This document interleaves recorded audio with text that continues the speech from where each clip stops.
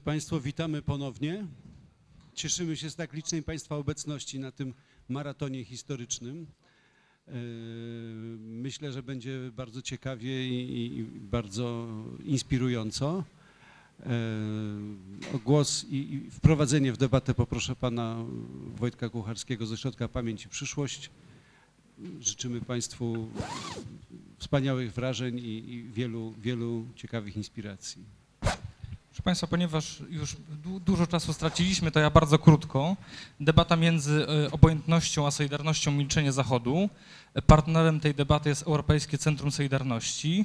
E, W debacie udział wezmą Basil Kerski, Roger Moorhouse, Timothy Snyder i Dariusz Tołczyk, a debatę poprowadzi pan Jan Skurzyński. Zapraszamy. Dziękuję bardzo. Dzień dobry wszystkim.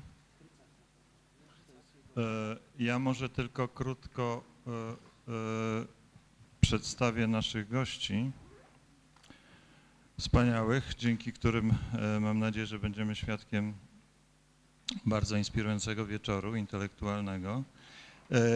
Zaczynając od mojej lewej, pan Dariusz Tołczyk jest profesorem literatury słowiańskiej na University of Virginia, ale także absolwentem Uniwersytetu Warszawskiego i Uniwersytetu Harvarda. Specjalizuje się w dziejach literatury polskiej, rosyjskiej, dziejach komunizmu. Mm, e, e, Jego pracą ostatnio wydaną w Polsce jest Gułag w oczach Zachodu. E, Pan Timothy Snyder jest historykiem amerykańskim, profesorem Yale University specjalistą od spraw Europy Środkowo-Wschodniej, autorem e, wielu książek, z których na szczęście większość e, została w Polsce e, wydana, między innymi Rekonstrukcja Narodów, Polska, Ukraina, Litwa, Białoruś. E, 1569-1999, fantastyczna synteza mm, relacji między tymi narodami. No i ostatnio wydana w Polsce, a także w bardzo wielu krajach świata i Europy skrwawione ziemie.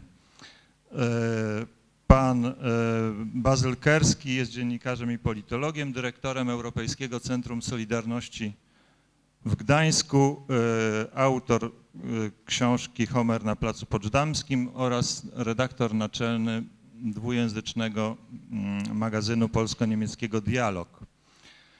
E, Wreszcie Roger Moorhouse, e, historyk, dziennikarz, pisarz, absolwent Uniwersytetu Londyńskiego, e, współpracownik Normana Davisa, współautor razem z Davisem historii Wrocławia pod tytułem Mikrokosmos. Opublikował także w Polsce Polowanie na Hitlera i Stolicę Hitlera. Dwa zdania na temat organizacji naszej debaty. B- Chcemy ją przeprowadzić w ten sposób, że mm, najpierw m, prelegenci będą mieli po kolei czas na odpowiedź na takie trzy podstawowe pytania, które, które sformułowaliśmy wcześniej dotyczące tego tematu. Potem y, Państwo macie y, do dyspozycji kartki, na których zapraszamy wszystkich do pisania komentarzy i, i pytań. Te kartki zostaną w którymś momencie zebrane, przekazane mi i y, będziemy je odczytywać i Panowie na koniec odpowiedzą na wszystkie pytania i, i i zapraszamy też do komentarzy oczywiście. Przechodząc do rzeczy. Tytuł naszej debaty między obojętnością a solidarnością. Milczenie Zachodu ze znakiem zapytania. Ja mam nadzieję, że ten znak zapytania jakoś, e, jakoś go wyjaśnimy w czasie tego wieczoru. Czy on rzeczywiście powinien e, tutaj być e, i jakie postawy Zachód pojęty jako opinia publiczna i jako rządy zajmował w stosunku do e, komunizmu i do jego zbrodni. E, Oczywiście nie, nie będziemy tutaj e, przedstawiać całej panoramy historycznej, bo to tego wymagałoby znacznie więcej mm, e, czasu niż mamy do dyspozycji. Natomiast chciałbym, żebyśmy e, spróbowali się zastanowić na początek, czy, ten, e, czy te dwie postawy tutaj zarysowane w temacie, obojętność i solidarność, to jest e, to, co wyczerpuje możliwości odpowiedzi. E, Czy też w, przypadku zbrodni komunistycznych mamy do czynienia z pewnym fenomenem, którego, jak wydaje mi się, nie, nie mają zbrodnie narodowego socjalizmu. Znaczy komunizm lepiej skrywał, lepiej się maskował, prawda? Komunizm e, e, krwawe środki i represje, które stosował, przedstawiał jako drogę do szczytnych celów. E, Komunizm miał lepszą propagandę, komunizm wreszcie trwał o wiele e, dłużej. E, Ale chyba na, na początku po, po, po, można postawić taką hipotezę, że fakt, że zbrodnie komunistyczne były dosyć długo, być może do dzisiaj, nie do końca są e, zdefiniowane i napiętnowane, e, nie bierze się z tego, że do tego, do tego mm, ta komunistyczna utopia równości i sprawiedliwości społecznej budziła nadzieję na radykalną odmianę losu ludzi uciśnionych w, w, rozmaitych e, konfiguracjach społecznych i że w związku z tym rewolucja bolszewicka, ZSRR, system sowiecki jawiła się bardzo wielu ludziom dobrej woli jako odpowiedź, e, e, jako próba realizacji szlachetnej utopii. Więc może milczenie o zbrodniach komunizmu na Zachodzie wynikało nie tyle z obojętności, co z entuzjazmu dla dzieła, którego komuniści werbalnie, formalnie próbowali się podjąć. Bardzo proszę, może po kolei proszę panów o wypowiedzi. Najpierw pan Dariusz Tołcz. Ja bym e, może nawet trochę e, odwrócił e, to, te, te, te opozycje, e, czy skomplikował bardziej tę opozycję, którą, którą pan tutaj kreśli. Solidarność kontra em, obojętność.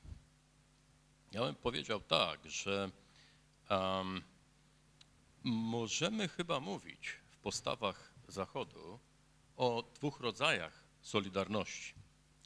Solidarność z ofiarami i solidarność z oprawcami. Em, Ta druga solidarność była dość stałym motywem. Począwszy od samej rewolucji, no właściwie ona już osłabła dość, dość znacznie mm, mniej więcej w czasie, e, e, kiedy Solżenicyn opublikował e, Archipelag Gułag. Ona już potem nie odgrywała aż takiej roli, ale, ale potem możemy o tym mówić bardziej szczeg- szczegółowo. Więc teraz, jeśli chodzi o entuzjazm i wiarę w, w sowiecką utopię, no to oczywiście mm, była ona bardzo znaczącą motywacją tej solidarności z oprawcami. Była to solidarność e, z, z władzą, z ustrojem, który jednak obiecywał te szczytne i szlachetne cele. W związku z tym tego typu solidarność wymagała przyjęcia postawy obojętnej wobec ofiar e, tego e, reżimu. Trzeba było powiedzieć, al, by- były dwie, generalnie dwie postawy. Jedna to było bardzo chętne i ochocze em, dawanie wiary propagandzie e, sowieckiej, ale też była postawa taka, w której em, albo dobrze wiedziano, co się tam, co się tam dzieje, a jeśli dobrze nie wiedziano, to domyślano się, e, że, że te doniesienia ustawiczne e, o zbrodniach, które przecież e, e, ciągle, ciągle były na Zachodzie obecne, które się potwierdzały, ich, ich obecność rosła e, z, z upływem czasu, że, że jednak nie są one tylko wymysłem e, antysowieckiej propagandy. W związku z tym no, trzeba było mm, zająć, zająć właśnie postawę obojętności wobec ofiar. Przyznać, że no, gdzie trwa e, rąbią, tam wiory lecą, albo zająć taką postawę, e, że no, no dobrze, wiemy, co się dzieje w Związku Sowieckim, albo podejrzewamy, co się dzieje, ale jeśli zaczniemy o tym głośniej mówić, m, to oczywiście e, będzie to z korzyścią dla e, wrogów e, tego, tego sowieckiego państwa, dla wrogów e, komunizmu, a ci, ci wrogowie oczywiście występowali pod różną postacią w zależności od, od, em, od okresu. Będzie to z pożytkiem dla światowej burżuazji, będzie to z pożytkiem dla mm, reakcjonistów. Wreszcie w latach e, 30. oczywiście y, tutaj główną rolę zaczął odgrywać Hitler. E, e, Po, po Hitlerze e, znowu CIA, McCarthy, no, czyli za każdym razem jednak przyznawano pośrednio, że, że ta alternatywa, ci, ci, ci, ci wrogowie, e, wrogowie tego, tego mm, e, ustroju sowieckiego jednak reprezentowali zło większe.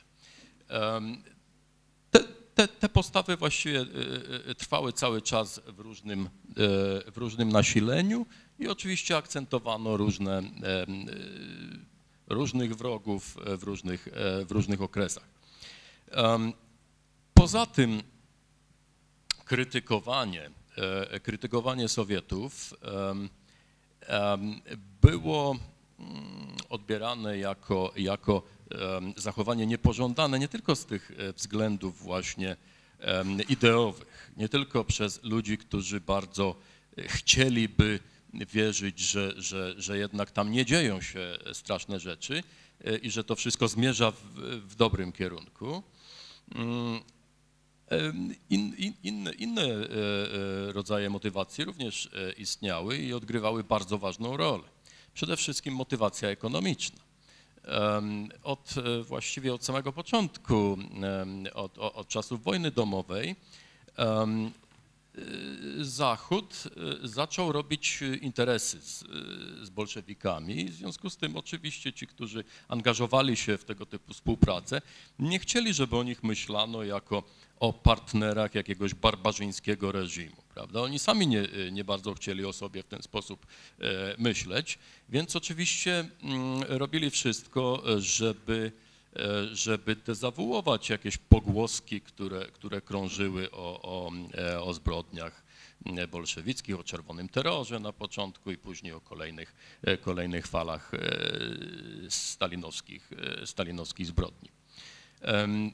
Poza tym e, jeszcze tutaj trzeba by zaliczyć też e, osobiste korzyści, jakie, jakie wiele, wiele osób wynosiło z, te, z takiego trzymania się z dala od, e, od, tematu, e, od tematu zbrodni sowieckich, czy wręcz korzyści, e, które, które wynikały z oficjalnego potwierdzania sowieckiej wersji propagandowej, że, że wszelkiego rodzaju doniesienia o, e, o, o wielkim głodzie czy o wielkim terrorze e, no, są w gruncie rzeczy wymysłem e, antysowieckiej propagandy. Mm, y, Sowieci stworzyli y, niezwykle skuteczny mm, aparat y, wpływu e, na, mm, na liderów, oczywiście nie, nie wszystkich, ale wybranych e, liderów e, zachodniej opinii publicznej. Głównie, główny nacisk kładli na bardzo rozpoznawalne postaci kultury. Sowieci zawsze y, bardzo wierzyli we wpływ tego rodzaju osób na, na opinię publiczną. E, Przede wszystkim wpływ pisarzy. E, To, to, to, to, były główne, główne główne cele tej akcji, akcji nie tylko propagandowej, ale też akcji korumpowania e, poszczególnych osób. Oczywiście było to, było to robione w, w, w sposób bardzo wyrafinowany. To nie była jakaś, mm, jakaś prymitywna korupcja, gdzie proponowano, e, że no, ja tobie zapłacę, a ty powiesz to, albo nie, to były, to były, e, to były bardzo, e, bardzo mm, subtelne techniki e, wpływu, kiedy powiedzmy e, pisarz no, niespecjalnie popularny w swoim kraju przyjeżdżał z wizytą, m, e, uprzednio oczywiście był typowany przez, przez, przez sowieckie instytucje do takiej wizyty mm, i od razu opracowywano jego profil i stosowano indywidualne podejście do, do tego typu osób. Powiedzmy, dowiadywał się taki człowiek, że jego utwory cieszą się niezwykłą popularnością e, w Związku Sowieckim. Od razu był prezentowany, e, pre- prezentowano mu jakieś e, honoraria za rzekomo, rzekomo masowe wydania w Związku Sowieckim. Natykał się przypadkowo na, na obywateli sowieckich, którzy rozpoznawali go na ulicy i, i, i, i okazywali się znawcami jego, jego, jego, jego dzieł. E, o- Oczywiście, e, oczywiście to, to odnosiło bardzo skuteczny, zwykle bardzo skuteczny wpływ na, na morale e, tego typu osób. No i później oprowadzano takich, takich gości po uprzednio specjalnie przygotowanych e, miejscach, gdzie pokazywano im na przykład, że no, tyle słyszymy o tych e, obozach, no to dlaczego byśmy się nie wybrali i zwiedzili jednego. No, tu, a tu akurat wygodnie pod Moskwą znajduje się taki, taki ośrodek, więc jeśli pan sobie życzy, Oczywiście, e, e, oczywiście z, tego, z tego brały się, brały się oświadczenia e, popierające, popierające sowiecki wizerunek propagandowy. Więc tu, tu korzyści własne, nawet, nawet dla własnego ego odgrywały, odgrywały niebagatelną rolę. Poza tym oczywiście tak zwana rea- realna polityka, e, czyli, e, czyli mm, fakt, że jednak państwo, e, państwo bolszewickie mm, stało się dość szybko mm, atrakcyjnym partnerem politycznym dla, dla różnych krajów w różnych okresach, krajów zachodnich, oczywiście początkowo szczególnie dla Niemiec weimarskich. I to oczywiście też, też tworzyło pewien klimat, w którym no, niezręcznie było wypowiadać się o swoim partnerze politycznym jako o barbarzyńskim ludobójcy, powiedzmy. Później, później e, podobną, e, podobny, podobne podejście demonstrował e, bardzo konsekwentnie chyba prezydent Roosevelt w, Stanach Zjednoczonych. Także to, to powiedziałbym główne e, motywacje. Jeszcze raz chciałem podkreślić właśnie, czy, czy, czy nie warto byłoby mówić o tych dwóch typach solidarności właśnie. Solidarność e, z ofiarami, solidarność z oprawcami. E, Nie można być solidarnym z jednymi i z drugimi jednocześnie.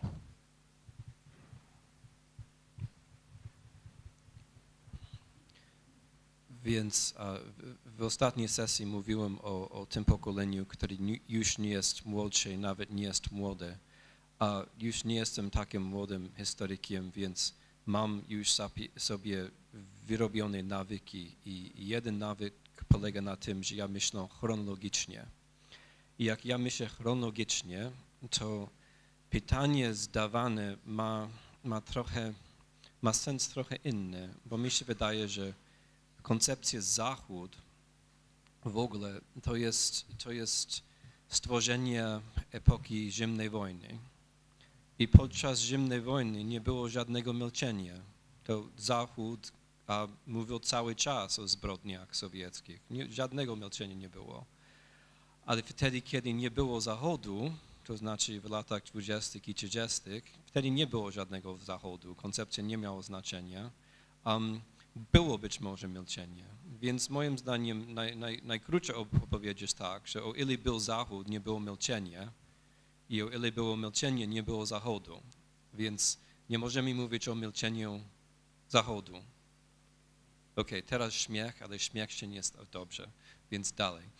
Um, dziękuję temu jednego człowiekowi, który się śmiał. Ale jest, jest, tutaj, jest tutaj poważniejsza argumentacja, mianowicie, jeżeli chcemy rozumieć, dlaczego tak zwany Zachód reagował czy nie reagował, trzeba myśleć etatami chronologicznymi. Więc jeżeli za, zaczniemy na przykład o, o entuzjazmie, nie możemy po prostu mówić, że tam na zachodzie są tacy naiwni. Wiem, że to jest bardzo przyjemnie, żeby tak mówić, że my na zachodzie jesteśmy tak naiwni. Jak uczyłem się polskiego, w moim podr- podręczniku było takie zdanie. Um, nie wiem, czy, czy, czy pochodzący z zimnej wojny, czy nie, um, ale trzeba to było powtórzyć. Amerykanie są naiwni jak dzieci. Amerykanie są naiwni jak dzieci. No, być może, ale, ale mi, mi się wydaje, że jeżeli chcemy rozumieć entuzjazm Amerykanów czy, czy innych na Zachodzie dla Związku Sowieckiego, nie wystarczy po prostu się odnosić do takiej kategorii e, rozwinięcia psychologicznego, nie? że to nie wystarczy. Trzeba rozumieć um, coś z tych społeczeństw tak zwanych zachodnich, bo na przykład entuzjazm czarnych w Stanach Zjednoczonych dla komunizmu w latach 20. i 30. wcale nie jest żadną niespodzianką, bo w tych latach jedyny ruch międzynarodowy czy narodowy czy w ogóle, który popierał naszych amerykańskich czarnych, to był właśnie komuniści. I z tego powodu komuniści byli wśród elity naszej, naszej afroamerykańskiej bardzo popularna. I to żaden, żadna tam naiwność, to znaczy może brak wiedzy wobec Związku Radzieckiego, ale ich stanowisko się wyjaśnia w kontekście ich własnych doświadczeń, doświadczeń, jeżeli chcecie, zachodnich, czyli amery- amerykańskich. Jeżeli chodzi o ogólnie o entuzjazmu wobec Związku Radzieckiego, tak w Europie, tak w Stanach Zjednoczonych, tak na całym świecie w, w, w lat 30., to powtarzam, nie było wtedy Zachodu. Nie było tego świata, gdzie panuje a, liberalizm demokratyczny. Nie było takiego świata w ogóle. Um, czytałem kiedyś, a, jak, jak, pisałem a, swoją książką o Józefskim, czytałem um, między innymi a, teczki z Ministerstwa a, Spraw Wewnętrznych w Polsce i w jednym raport um, pewien wicedyrektor pisał tak. Już teraz po klęsce demoliberalizmu po klęsce demoliberalizmu taka była w ogóle panująca opinia, że demokracja, że liberalizm to już było. To już było. To był, to był panujący konsens w latach 30. Więc to, co my nazywamy teraz Zachodem, czyli zwycięskie liberalizm i demokracja, w latach 30. to należało nie do przyszłości, tylko do przeszłości. Jeżeli to rozumiemy, i to jest po prostu fakt historyczny, to, to, to łatwiej rozumieć, dlaczego ludzie byli a, skłonni przyjąć obietnicę sowiecką, bo wydawało się w tych latach, w, w, w warunkach wielkiego kryzysu ekonomicznego, wydawało się, że są tylko dwa wybory. Wybory faszystowski, wybór faszystowski i wybór komunistyczny. I jak, jak słusznie już powiedzia, powiedziano, wydawało się również, że obiektywnie trzeba wybrać i jeżeli nie wybiera się właściwie, właściwie, to jakoś obiektywnie się pomaga drugiemu kierunkowi. Więc trzeba było, trzeba było wybrać. I jeżeli, jeżeli, jeżeli rozumiemy, że wtedy nie było Zachodu, nie dla, dla elity intelektualnej i w ogóle dla, dla, dla chyba większość polityków europejskich, że nie było tego Zachodu, że wybory były właściwie dwa, dwa więc wybór sowiecki ma całkiem inne ubarwienia. Bo jeżeli wyobrażamy sobie, że tak, można było po prostu spokojnie Zachód wybrać, to, to sprawa wygląda inaczej i, i, i wygląda fałszywnie, bo tak sobie nie było, nie można było Zachód wybrać, bo nie było tego Zachodu. Nie było tego Zachodu. I, i to, co jeszcze istniało z tego tak zwanego Zachodu, tego świata demoliberalizmu, czyli Stany Zjednoczone, też nie były w, najlepszym, w, najlepszym, um, sytu, w najlepszej sytuacji. Y, zastanówmy się nad, nad, um, nad reakcją Roosevelta, naszego prezydenta, na głód ukraiński. Wiadomo było, że był głód na Ukrainie. Wiadomo było, że to była świadoma polityka Stalina. Tego nic wtedy tak naprawdę nie wiedział. Ale że głód był, to wszyscy tak naprawdę wiedzieli. A New York Times, która została słusznie skrytykowana, nawet tam są meldunki, krótkie opisy głodu. Więc wiedzieliśmy, że jest głód na, Ukra- na Ukrainie. I wiemy też, że, że Roosevelt osobiście wiedział, albo mógł wiedzieć przynajmniej, bo aktywiści Ukraińcy w Polsce um, napisali masę listy i, i telegramów do Roosevelta, feministki ukraińskiej do jego, do jego żony, żeby po prostu, a, żeby, żeby po prostu przekazać, że jest głód i że trzeba coś um, przeciw temu robić. Nie? Ale mimo tego myśmy, to znaczy Amerykanie, kiedy, nawiąza, kiedy myśmy nawiązali stosunki dy- dyplomatyczne ze Związkiem Radzieckim? Czy ktoś wie? W, w listopadzie a, a, cze- a, cze- 63 roku, tak? Właśnie, właśnie wtedy, kiedy głód już był, nawiązaliśmy dyplomatyczne stosunki w, w, w 1993 roku. I dlaczego? Bo dla nas podczas wielkiego kryzysu ekon- ekonomicznego jed, jedyny czynnik, który się liczył, nie był jakiś tam utopia, nie był jakiś tam um, brak zgody z polityką sowiecką, nie. Jedyny czynnik, który się nam liczył, był ekonomiczny. Ekonomiczny. Roosevelt chciał handlować z Sowietami. Polityka i ideologia właściwie wtedy się nie liczyły. I jeżeli nie rozumiemy, te, nie rozumiemy tego kontekstu, jeżeli wyobrażamy sobie, że był jakiś tam solidny Zachód, to nie, nie rozumiemy w ogóle, nie rozumiemy w ogóle um, sytuacji, nie rozumiemy, dlaczego Związek Radziecki istniał i dlaczego mógł być taki, taki popularny. Jeżeli przechodzimy, um, więc jako Amerykanin korzystam z okazji samokrytyki, nie? Um, jeżeli, bo, bo, bo, bo, nam nie, nie, nie było tak, tak wielu okazji, więc ja, ja teraz korzystam. Um, więc jeżeli chodzi o wielki terror, wielki terror to jest wydarzenie 37 i 8 roku. Um, za, zabito 800 tysięcy ludzi w Związku Radzieckim. Um, jaka jest koniunktura w stosunkach sowiecko-amerykańskich? Hmm? Wojna. Wojna jest koniunktura. Um, nasze, nasze pierwsze poważne stosunki dyplomatyczne, wojskowe ze Sowietami wy, um, pojawiły się właśnie w kontekście II wojny światowej. I kim był dla nas Sowieci podczas II wojny światowej? Głównym sojusznikiem. Głównym sojusznikiem, bez którego nie mielibyśmy żadnej szansy wygrać tą wojną.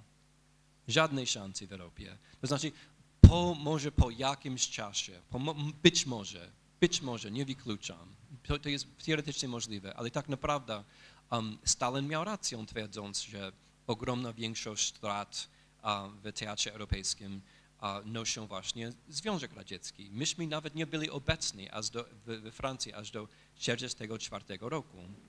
Nie?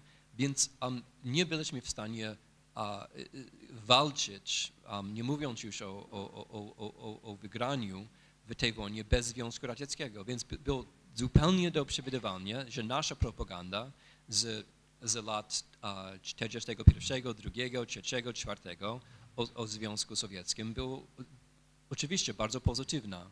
Nie? Stalin był wielkim demokratem, był człowiek roku dla, dla Life Magazine. Um, są, są strasznie atrakcyjne um, hollywoodzkie filmy o tym, jak wielki terror był po prostu sąd i ten sąd był bardzo sprawiedliwy i w ogóle Związek Radziecki jest demokracją wzorową. I to, jest, to nie jest żadna niespodzianka, bo to jest nasz sojusznik. Nie? Więc jak, jak, nie, nie ma żadnego tam milczenia. Nie, nie, nie, nie milczymy się, po prostu twierdzimy, że Związek Radziecki jest, jest w ogóle bardzo piękny system. I to jest po prostu, i, i, i to jest zrozumiałe, ale to jest po prostu fakt. Kiedy to się zmieniło? Więc jeszcze w roku 1943, jak świat się dowiedział o Katyniu, o, o zbrodni katyńskie, co, coś mi Amerykanie stwierdzili, że byli Niemcy oczywiście, Niemcy byli sprawcami, Niemcy byli sprawcami oczywiście, nie, nie żaden tam nasz sojusznik, tylko Niemcy. Jeśli się czyta deklarację a, moskowską, to tam jest mowa o tym, jak Niemcy mordowali tych polskich oficerów. Tak? I mi to podpisali, mi to napisali. Nie? Kiedy to się zmieniło? Um, to się zmieniło, jak zimna wojna się zaczęła. I je- jest żadna tam, żadne tam milczenie, nie? po prostu, ale, ale radykalny, radykalna zmiana kierunku propagandy, bo ta, ta sama zbrodnia katyńska od roku 1948 to już żadne tam Niemcy, tylko Sowieci, Sowieci to zabili. Ale nie jest tak, że Katyn był przemilczany. Nie, w ogóle.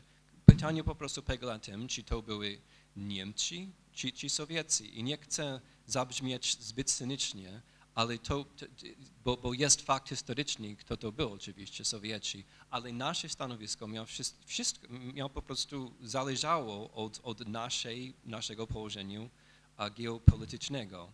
Więc przez całą zimną wojnę również nie było żadnego tam.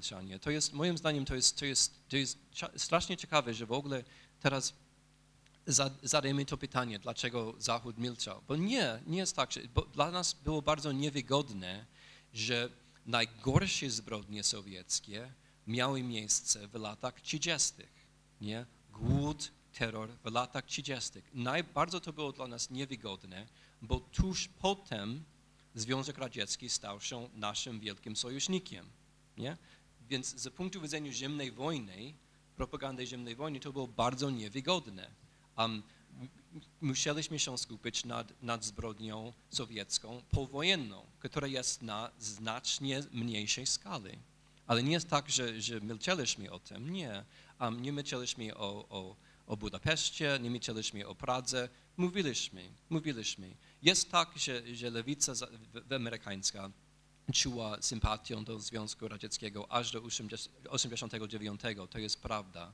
Ale mi się wydaje, że tutaj najważniejszy czynnik jest po prostu to, że Związek Radziec- Radziecki jeszcze istniał. Jeszcze istniał.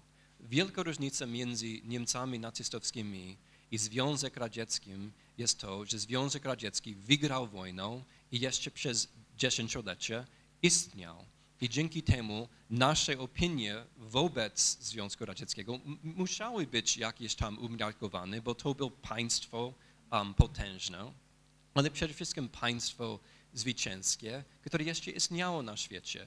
Bardzo stosunkowo łatwo było um, odżegnać się z, z, z, z faszyzmem, bo faszyzm przegrał wojnę i, i, i- i, i nie istniał jeszcze w, w Europie czy, czy, czy na Zachodzie. Um, więc moim zdaniem ten, to całe pytanie, dlaczego, dlaczego Zachód milczał, to jest po prostu um, pytanie, które się muszą urodzić po zimnej wojnie. Bo nie jest tak, że milczeliśmy. Nie milczeliśmy. Ja, ja uczyłem się, um, ja miałem trzy razy w szkole lekcję o, o, o sowieckim. Nie? Jako Amerykaninem dobrym, um, wychowanym, po, wychowanym podczas zimnej wojny. Nie, żadne, żadne tam milczenie. Ale to jest pytanie, moim zdaniem, które się urodziło po końcu zimnej wojny. Bo teraz um, paradoks polega na tym, że wiemy bardzo dużo teraz konkretnie o zbrodniach sowieckich, ale nikt w ogóle, nikt tam się tymi zbrodniami nie interesuje. To jest różnica. To jest różnica. Więc milczenie, moim zdaniem, jest milczenie dnia obecnego. Nie?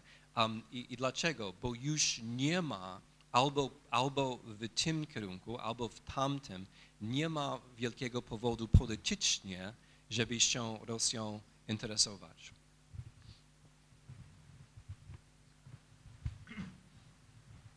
E, Chciałem pójść w kierunku Timothy Snydera, zastanawiając się nad tym pytaniem, a to pytanie, y, na ten, to, to pytanie rozstrzygamy jednak w szerokim kontekście czasowym, tak? Od, od wojny bolszewickiej do upadku komunizmu. Y, Też myślę, też nie proponuję prostej odpowiedzi, tylko y, dwie perspektywy. Jedna to jest oczywiście czasowa. Bardzo prymitywnie, oczywiście okres przed II wojną światową, II wojna światowa i okres powojenny. to nie tylko dotyczy kwestii percepcji y, rewolucji bolszewickiej, y, ale też dwóch wymiarów, dwóch perspektyw, które też bym wprowadził. Ja bym też rozróżniał między wymiarem rządowym, zachowanie państw narodowych i rządów, ich jakby kalkulacją. To oczywiście nie zostawało też bez wpływu na społeczne debaty. I społeczne debaty, przy czym przy tych społecznych bym powiedział, jaką rolę miała percepcja bolszewizmu, percepcja też zbrodni komunistycznych na rozwój kultury demokratycznej e, właśnie w tym świecie, który nazywamy światem zachodu. I tutaj powracając też do tych różnych wymiarów czasowych, też, też mam bóle żołądka, jak słyszę o Zachodzie. E, Wydaje mi się, że mimo różnych uwarun- uwarunkowań e, kulturowych, być może religijnych, cywilizacyjnych, w kontekście dzisiejszego pojęcia Zachodu, to byłbym też bardzo ostrożny. Jak patrzę się na Europę Zachodnią, geograficznie okresu przed 33, przed 39, to zastanawiam się, które społeczeństwo było tak naprawdę tak demokratycznym i tak stabilną demokracją w naszym dzisiejszym pojęciu. E, W poprzedniej debacie Timothy Snyder i pan Chrycak zwrócili też w ogóle uwagę na, na inny problem, problem kolonializmu tak? i polityki mocarstwowej. I tu już jest problem nawet jak, jak wchodzimy jakby na płaszczyznę oceny rozwoju demokracji Wielkiej Brytanii, tak? która jest dla nas wzorem e, demokracji. E, Krótko mówiąc tak, ja może e, zacznę od e, dzisiejszej sytuacji, e, nawiązując do pytania, które padło, jaka jest percepcja na książkę Timothy Snydera. E, I tutaj też, nie chcąc wchodzić w historię narodową, też trzeba rozróżnić jednak rozwój różnych społeczeństw i, i narodów europejskich. Ja mogę sobie powiedzieć, że tylko postrzegałem y, y, to pytanie też zbrodni, percepcji zbrodni komunistycznych tylko w trzech krajach Europy, to jest Francja, Włochy i Niemcy. I tutaj odpowiedzi są bardzo ciekawe, bo mamy przykłady jednak rozwoju Solidarności, mamy przykłady budowania świadomej i bardzo inteligentnej postawy oceny zbrodni komunistycznych y, i faszystowskich i rozróżnienia. Mamy wręcz takie sytuacje, w których y, konfrontacja z tymi zbrodniami, i to nie tylko aktualnymi, też z historycznymi, staje się ważnym elementem tożsamości y, demokracji. Chciałbym nieco uzupełnić obraz Jochena Büllera, jeśli chodzi o Niemcy, bo to jest ciekawy przykład. Y, Ja się bardzo bałem książki Tim- Timothy Snydera. To znaczy też myślałem, że jak książka Tima się ukaże, y, to wpadnie y, w szufladę pod tytułem No Nolte. Y, Tak się nie stało. Ale pytanie skąd ten strach? I tu jesteśmy też w tych wymiarach czasowych, kulturowych. No nie zapomnijmy, że bardzo wyrafinowaną, bardzo mówiąc cynicznie inteligentną formę percepcji y, systemu bolszewickiego y, wprowadziła też trzecia Rzesza, prawda? Y, I co więcej, właśnie pod koniec klęski budowano przecież taki nawet mit, i nam się wydaje, że on nie jest trwały. Mnie się wydaje, że on był bardziej trwały po wojnie. Właśnie trzeciej Rzeszy, która oczywiście jako państwo rasistowskie, antysemickie, autorytarne broni wartości Zachodu.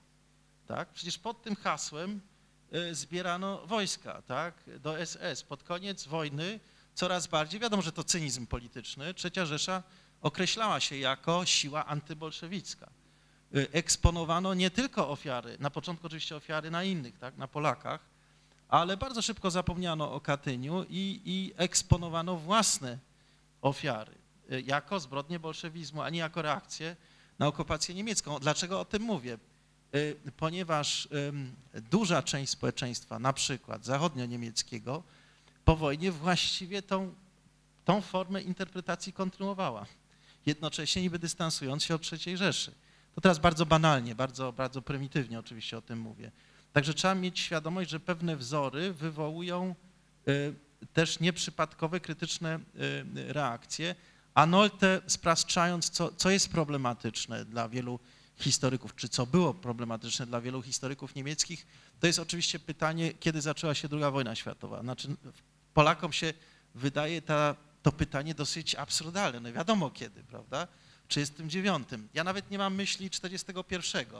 Y, Właśnie w związku z tą nieco i pewną intelektualną ciągłością pojawił się właśnie taki obraz, że lata 20-30 to była wielka domowa wojna europejska, krwawa. I jakby ten pewien, pewne standardy moralne zostały już przed 39 obniżone. I właściwie no, to, co zrobił Hitler, y, to nie było nową jakością, też tak to spras- spraszczając. Y, Ale dlaczego y, to, co powiedział Timothy Snyder o sukcesie swojej książki, jest prawdą i co jest dla mnie zaskoczeniem? Y, Bo jednak y, to, że ta książka mogła zostać odczytana w taki sposób, jaki chciał autor, to jest też wynik pewnego rozwoju intelektualnego. Y, To są dwa aspekty. To są jednak po pierwsze wschodnie Niemcy i lewica, która oczywiście na tle swojego doświadczenia bloku sowieckiego zaakceptowała zbrodniczy charakter Sowietów, y, oczywiście akceptując zbrodniczy charakter III Rzeszy. Co więcej, w latach 90. pojawił się poważny problem y, dla polityki historycznej państwa. Co robić z miejscami zbrodni III Rzeszy, które właśnie natychmiast w 1945 zostały wykorzystane przez władze sowieckie jako więzienia dla wrogów e, Związku Radzieckiego. No, słynny przykład wystawy i miejsca pamięci Buchenwald. I to bardzo ciekawe, nie y, konserwatywne środowiska, i to używam też tak orientacyjnie, tylko można powiedzieć lewicowe środowiska, em, im się udało właśnie stworzyć taką konstrukcję ale Tim Snyder. Problemem nie jest porównanie. Nie chodzi o porównanie, chodzi o pamięć i chodzi o możliwość udostępnienia e, jak najszerszej gamy też faktów. Także to był, wydaje mi się, jeden z ważnych elementów. Drugi element, o którym się też bardzo zapomina, y, rozwój powojennej Europy i percepcji komunizmu jednak jest też związany y, z zasadniczą reformą lewicy y, i jej stosunku do przemocy, i jej stosunku też do mechanizmów demokracji i systemu wolnorynkowego. Y, Nawet niemieccy socjaldemokraci, którzy jak wiemy byli dosyć krytycznie nastawieni wobec komunizmu, bo bardzo wcześnie doświadczyli ten rozłam. Tu komuniści, tam antykomuniści wśród lewicy. No jednak bardzo ważnym elementem i, i doświadczeniem no była akceptacja w latach 50. y, tego, nazwijmy to dzisiaj, zachodniego modelu. Demokracja, wolny rynek. I to była ta granica. E, I nie można było jednak tej granicy przekroczyć i tam powstał, i tutaj powstał bardzo negatywny obraz e, no, tego wroga. E, Do tego dochodzi też jeszcze bardzo ważna rzecz, o której zapominamy. No mamy w latach 40., 50. w Europie Zachodniej, e, już w latach 30. można powiedzieć, ale wtedy szczególnie, już bardzo ciekawą ofertę literacką, bardzo ciekawe świadectwa ofiar stalinizmu e, czy Związku Radzieckiego i to są ludzie lewicy, prawda? E, Czy to są liberałowie? To nie są e, przedstawiciele środowisk autorytarnych e, czy to, totalitarnych, którzy stali się ofiarami. Nieprzypadkowo właśnie w Berlinie odbył się Kongres Wolności Kultury w czerwcu 50 roku, w którym brali udział tacy ludzie z polskiej strony jak Giedroyć Józef Czapski. To nie była jakaś konserwatywna, katolicka prawica, to była lewica, to byli liberałowie, to byli socjaldemokraci, właśnie którzy szukali swojego miejsca między tymi dwoma doświadczeniami y, tot- totalitarnymi. Bardzo ważną, nie przedstawiając w pełni tego obrazu, oczywiście bardzo ważną rolę odegrała po wojnie krytyka Sowietów, krytyka modelu sowieckiego, oczywiście przez lewicę.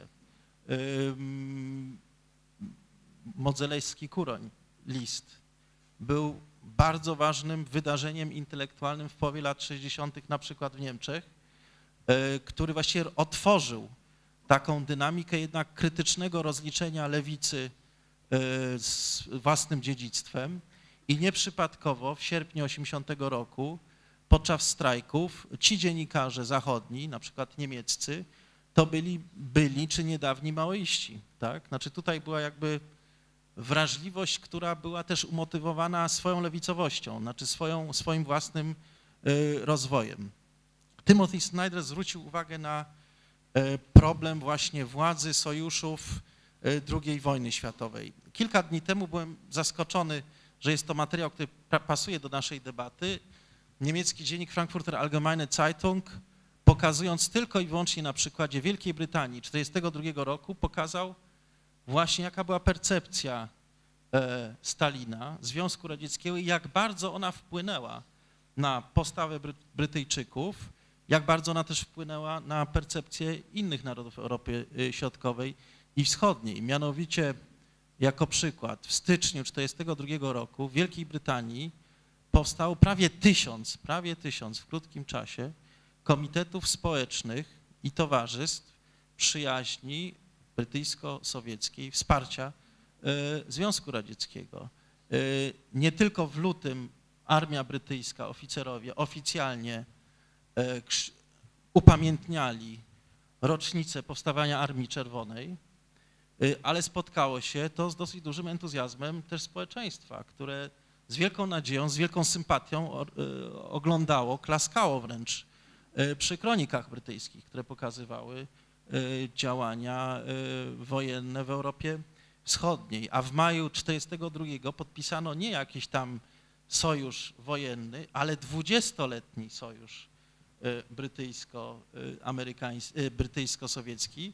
Można do tego podejść tak nonszalancko, że jest to cynizm polityczny, tak? że to jest po prostu gra. Ale wydaje mi się, że w społeczeństwach no, demokratycznych, tutaj Timothy Snyder mówił o, o Stanach Zjednoczonych, to pozostawia jednak jakieś ślady. Y, To określa jakieś, też jakąś przestrzeń tabu. Ktoś, kto y, zgłasza inne poglądy, jednak automatycznie znajduje się w mniejszości, a być mniejszością nawet w otwartym społeczeństwie demokratycznym jest y, wielką odwagą. Już nie będę wchodził, bo to jest też dosyć skomplikowane, y, w, w okres przedwojenny. Tutaj też chyba trzeba przypomnieć, y, że już wtedy powstaje, jakby ten, jeszcze przed II wojną światową, ten dylemat wyboru i, i dylemat kryki, krytyki po stronie lewicowej, prawda? Mamy jednak znakomite dokumenty, które dzisiaj nadal można czytać, jak y, Andrzej Żyd, książka o powrocie y, Związku Radzieckiego. Człowiek, który musiał przejść ten mechanizm, o którym profesor Tołczyk opowiadał, który znakomicie opisał, nawiasem mówiąc, w Tygodniku Powszechnym, znaczy bardzo systematycznej pracy uwodzenia lewicowych elit w Europie i w Stanach Zjednoczonych, y, budowania wręcz perwersyjnej, wręcz momentami wydawałoby się wiarygodnej ofercie. W swoim tekście profesor Tolczyk pisze o przedstawieniu teatralnym na temat kanału, budowy kanału Białomor- białomorskiego i, i rzeczywistości pracy e, niewolniczej w 1936. Na, te, na to przedstawienie teatralne szli goście z Zachodu. To nie była tabuizacja zbrodni stalinizmu, tylko to była próba stworzenia własnej debaty na temat przemocy, władzy i realizacji utopii. I w tych czasach mamy nie tylko ludzi, tak jak Brecht, którzy milczą i milczą właściwie do końca, do swojej śmierci, ale mamy jednak już bardzo odważne, bardzo inteligentne oferty też po lewej stronie y, krytyki. Jeszcze na koniec jedna rzecz podkreślając, powracając do y, wstępnego problemu, jeśli właśnie mówimy o Zachodzie, to szczególnie w tym okresie lat 20., 30. byłbym bardzo ostrożny. Y, historię Niemiec, Niemcy nawet nieraz bardzo prosto interpretują, no tak, 33 Hitler doszedł e, do władzy, ale co ważne, popularną postawą intelektualną była postawa autorytarna, była postawa antydemokratyczna. I wydaje mi się, że nie tylko w Niemczech, też w innych społeczeństwach Europy Zachodniej, we, Francji chociażby. E, Także gdzie jest ten Zachód, gdzie jest ta przestrzeń większości, w której można byłoby artykułować e, krytykę bolszewizmu. Padło tutaj też krótko jako cytat, no, cała perwersja współpracy Republiki Weimarskiej od początku e, z Niemcami, tak, E, e, z, ze Związkiem Radzieckim. I to na każdym wymiarze, jako alternatywa do, do reżimu właśnie zachodniego, współpraca od początku wojskowa, y, gospodarcza. No, niemieccy y, historycy niedawno zwrócili uwagę, jaką gigantyczną rolę y, gospodarczą miał pakt Hitler-Stalin w ogóle dla rozpoczęcia II wojny światowej, tak? Y, I ten pakt no, nawiązywał już do sprawdzonej, bardzo długoletniej współpracy y, w latach dwudziestych i to pokazuje właśnie podobne mechanizmy jak w przypadku właśnie polityki Roosevelta. Także powracając, wydaje mi się, że można tylko na ten temat rozmawiać patrząc się na poszczególne fazy historii, jednak w analizie rozróżniając dynamikę społeczną czy intelektualną e, i interesy e, państw e, czy rządów narodowych. Dziękuję. Thank you. Um, now I'm afraid we switch to English. Um, for that, oh, I'll take that out. For that, I do apologise. Um, unlike Professor Snyder, I just have German. So um, I was never a great collector of languages. I did try Polish, but it was too hard for me. German is an easy language. Polish is not an easy language. So I just have German. I do apologize. So I apologize for not being able to address you in your, in your own language. Um, to look at this question, I think that there's sort of two aspects to it. The first one being, was the West silent? And there is a big question mark over what the West means, which I think Professor Snyder has dealt with. Um, was the West silent, first of all? And if it was, why was it silent? And I think there's, you know, we, can, we can wrestle with that a little bit now. Um, was it silent? I think it, it, was and it wasn't. There were, it wasn't entirely silent at all. Um, there were some sections where things should have been said that were not said.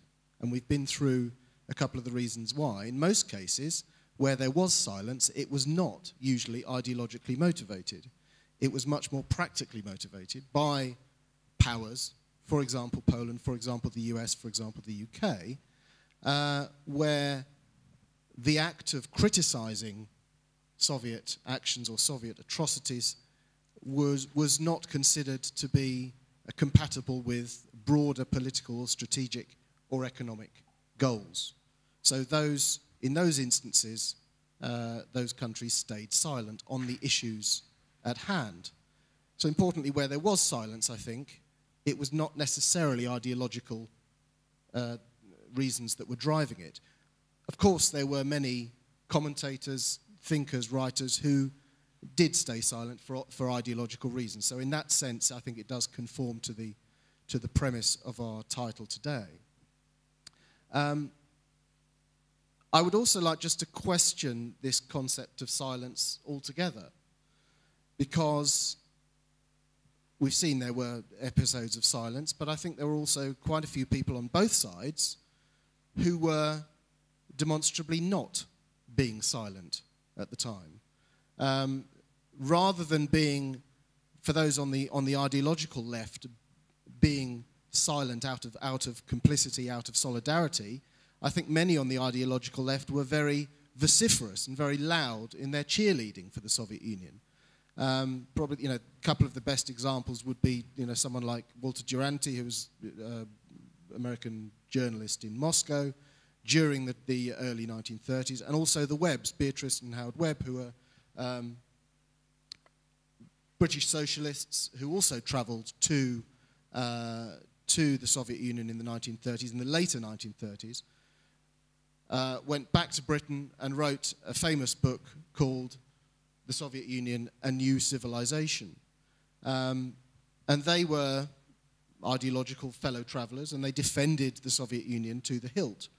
Um, astonishingly, they are now both buried in Westminster Abbey, which I find absolutely astonishing. Uh, quite what you have to do to not be buried in West, Westminster Abbey, I'm not quite sure, but that, that I find quite astonishing.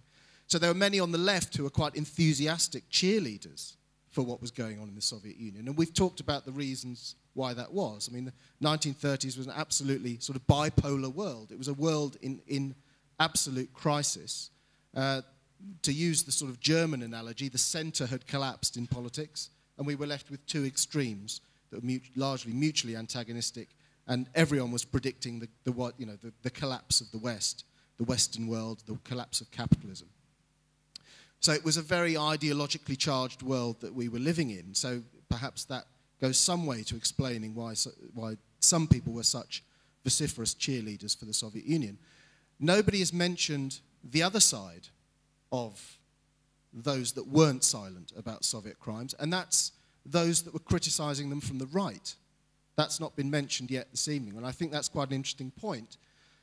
Hitler, of course, made tremendous political capital and uh, tremendous political headway in the 1930s by criticizing the Soviet Union, by pointing up the horrors that were going on in the Soviet Union and pointing them up to his audience and to the German public and saying, this is what socialism will bring you. It will bring you the horrors of the purges, of starvation, and of the Soviet Union.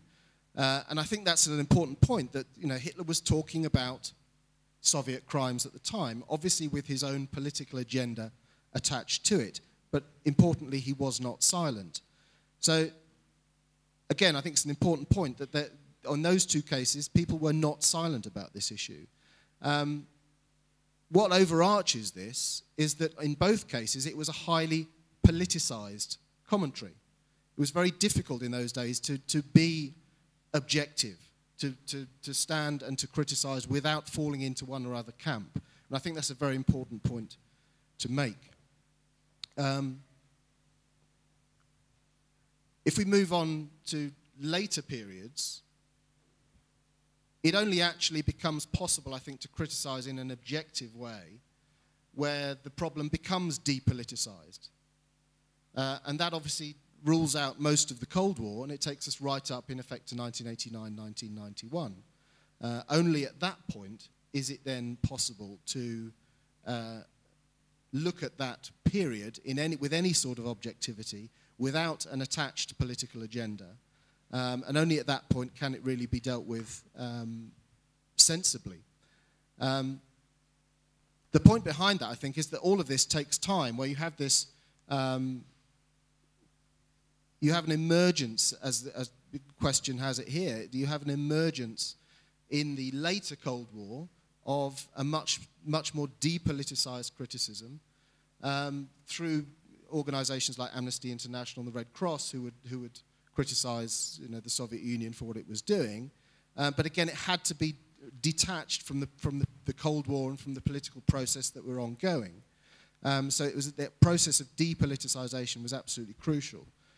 Uh, also, time was crucial. You had to have a, a, a good distance of time for people to actually approach this with any sort of objectivity. It's interesting, for example, that the great book on, on the, the Great Terror in the Soviet Union, uh, Robert Conquest's Great Terror, came out in 1968. It came out 30 years after the events that it described. Um, in most cases, the, the best historical scholarship comes out maybe 20, 30 years after the events that they describe. So you can't expect this to happen immediately. And I think it's very important in this context. We're talking about the, the, the change in 1989, 1991. We're only now at a generation past that period. So it's only now, perhaps, that we can expect really good scholarship to start to come through on the period of the Soviet Union and, and looking back into the Soviet Union's history. And I personally would, would put um, Professor Schneider's book right into that canon as, as one of the first that is dealing with that in a, in a very mature, very objective, and very scholarly way. Um, so it's important that we have time in which you know, historians can do their work and a new synthesis can be born. Um, the attitude now, I mean, looking at it from the perspective of the British Isles or from Britain, is a rather peculiar one. Um, we still have, uh, you know, the great doyen of the left, um, Professor Eric Hobsbawm, who's still alive, aged 94, uh, was interviewed not, not so many years ago um, and was asked if 20 million lives was worth the building of a socialist communist utopia. And he said yes, which personally I find rather horrifying. Um, and this is someone who never renounced his Communist Party membership. Actually, the Communist Party left him when it disbanded in 1989.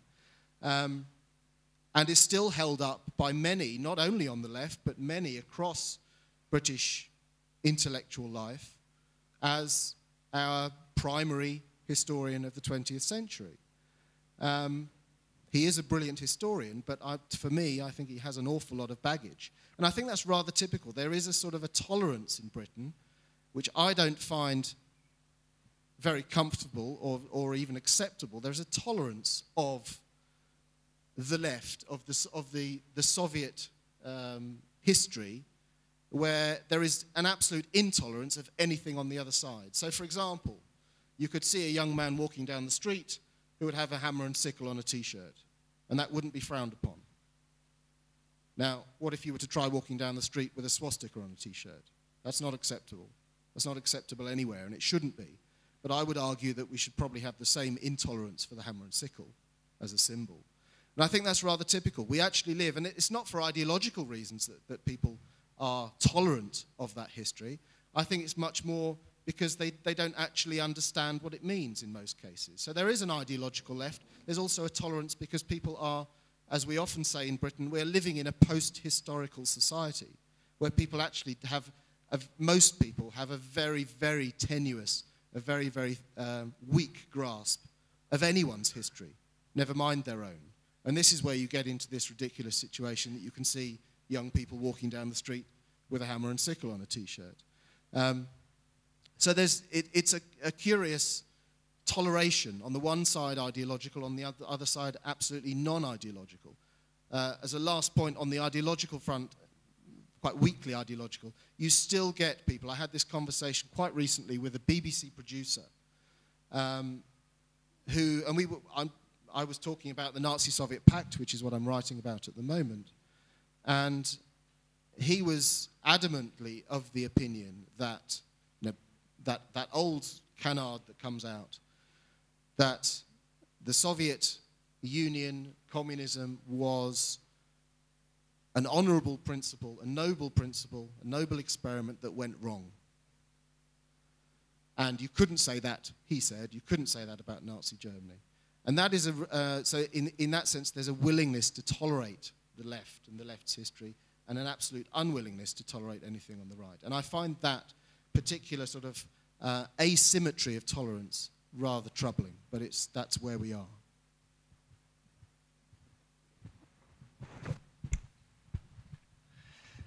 Dziękuję bardzo za tą e, niesłychanie interesującą wymianę zdań. Ja e, chciałbym od siebie tylko mm, powiedzieć tyle, że milczenie, tak, co do Zachodu, oczywiście y, czym innym y, można się spierać, czy w ogóle taka kategoria polityczna y, istniała przed wojną. Z całą pewnością powstaje taka wspólnota ideowo-polityczno-militarna wraz z utworzeniem NATO. Więc mówiąc o, o, o, o Zachodzie, chyba najczęściej w każdym razie z polskiej perspektywy ma się to na myśli. Natomiast e, e, co do milczenia, no mm, oczywiście, że nie, nie, nie, nie można takiej tezy traktować literalnie, tak? Było bardzo wiele środowisk i, i, i, i gestów i akcji, y, które y, wyrażały czynnie solidarność z narodami i z ofiarami systemu komunistycznego ale nie było to, nie było to stałe i nie było to, było to w różnych epokach, miało to różne natężenie. Poza tym oczywiście jest, można to oceniać z różnej perspektywy, zależnie od punktu widzenia, prawda? Z punktu widzenia mieszkańców Budapesztu Zachód milczał w 1956 roku. Z punktu widzenia mieszkańców Pragi Zachód milczał w 1968 roku. E, I e, e, w sensie tak, pewnego skutecznego jakiegoś działania politycznego. Mm. E, wydaje mi się, że można zaryzykować też, że to się zaczyna zmieniać w latach 70. i już na przykład kazus Sołżenicyna, który wydaje książkę na Zachodzie, a potem jednak nie zostaje zgnojony w łagrze, tylko wyrzuca się go z kraju w sposób jak na sowieckie stosunki dosyć delikatny. E, Pokazuje już pewną zmianę, która potem m, o, e, znajduje wyraz no, w całym procesie helsińskim, w polityce praw człowieka, którą rozpoczął prezydent Carter i kontynuował prezydent Reagan. E, użycie jakby tego argumentu, prawda, w polityce światowej po raz pierwszy następuje w połowie lat 70. E, Wreszcie pewnie można też gdzieś tutaj umieścić postać i, i, i mm, działania Jana Pawła II. E, e, Postaci, która przybyła ze wschodu i jakby o, stała się częścią Zachodu. tak? Ja chciałem jeden przykład bardzo konkretny przedstawić, co ja pojmuję jako milczenie Zachodu, w sensie może bardziej właśnie nie tyle literalnej, co symbolicznej i takiej luki w świadomości. W jednym z niewielkich krajów Europy, niedawno widziałem, daleko położonych stąd, widziałem taką wystawę historyczną, która pokazuje wiek XX i historię tego kraju na tle wieku, na tle historii świata. I w tej historii świata Stalin pojawia się raz y, w roku bodajże 24 jako moment, kiedy obejmuje władzę w partii w Związku Radzieckim i jedyną jego cechą charakterystyczną jego rządów, jaka jest wymieniona, jest to, że wprowadził politykę rolną kolektywizacji. Więcej nie ma ani słowa. E, e, o praskiej wiośnie, o Budapeszcie 56, o Solidarności nie ma ani słowa. W tym bardzo długim takim przeglądzie, panoramie historii świata. Czy zatem panowie uważacie, y, że e, książka między innymi pana Timothy Snydera, która cieszy się na szczęście także w tym kraju, o którym opowiadam, y, jest już wydana i przetłumaczona. E, Czy to jest jaskółka, która, która zapowiada pewną zmianę, to znaczy pewien, e, na ile w świadomości historycznej Europy Zachodniej, tak się już geograficznie trzymajmy tego, na wschód od Łaby, na zachód od Łaby, przepraszam, e, prawda o rzeczywistości rządów komunistycznych, bo to nie tylko zbrodnie, prawda, o, o, o dyktaturze komunistycznej, która trwała e, w sumie lat prawie 70. E, Czy ta prawda jakby już w tej chwili zajmuje takie miejsce, jak, jakie powinna, czy to się jakoś zmienia po 89 roku? E, Bardzo proszę.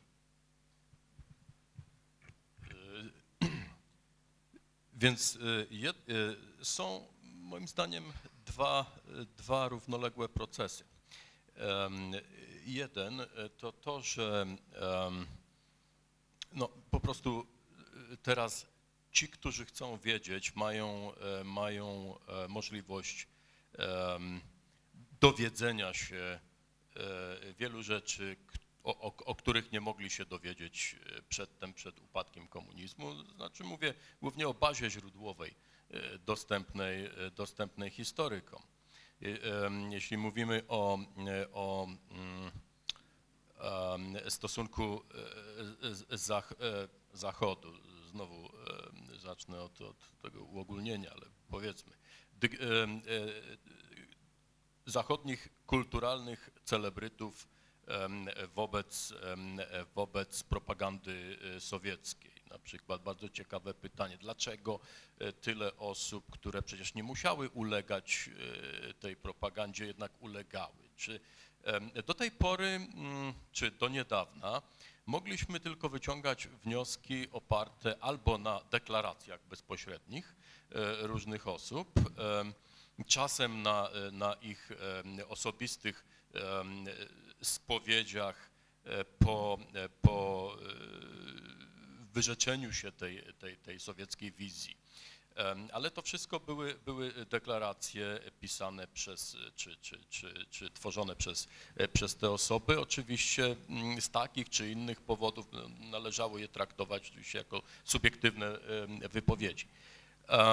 Poza tym e, mogliśmy e, korzystać ze źródeł zachodnich. Na przykład, natomiast właściwie to wcale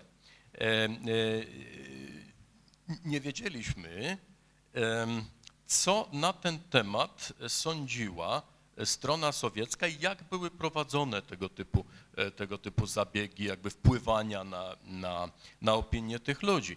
E, I, I dopiero od niedawna to staje się możliwe.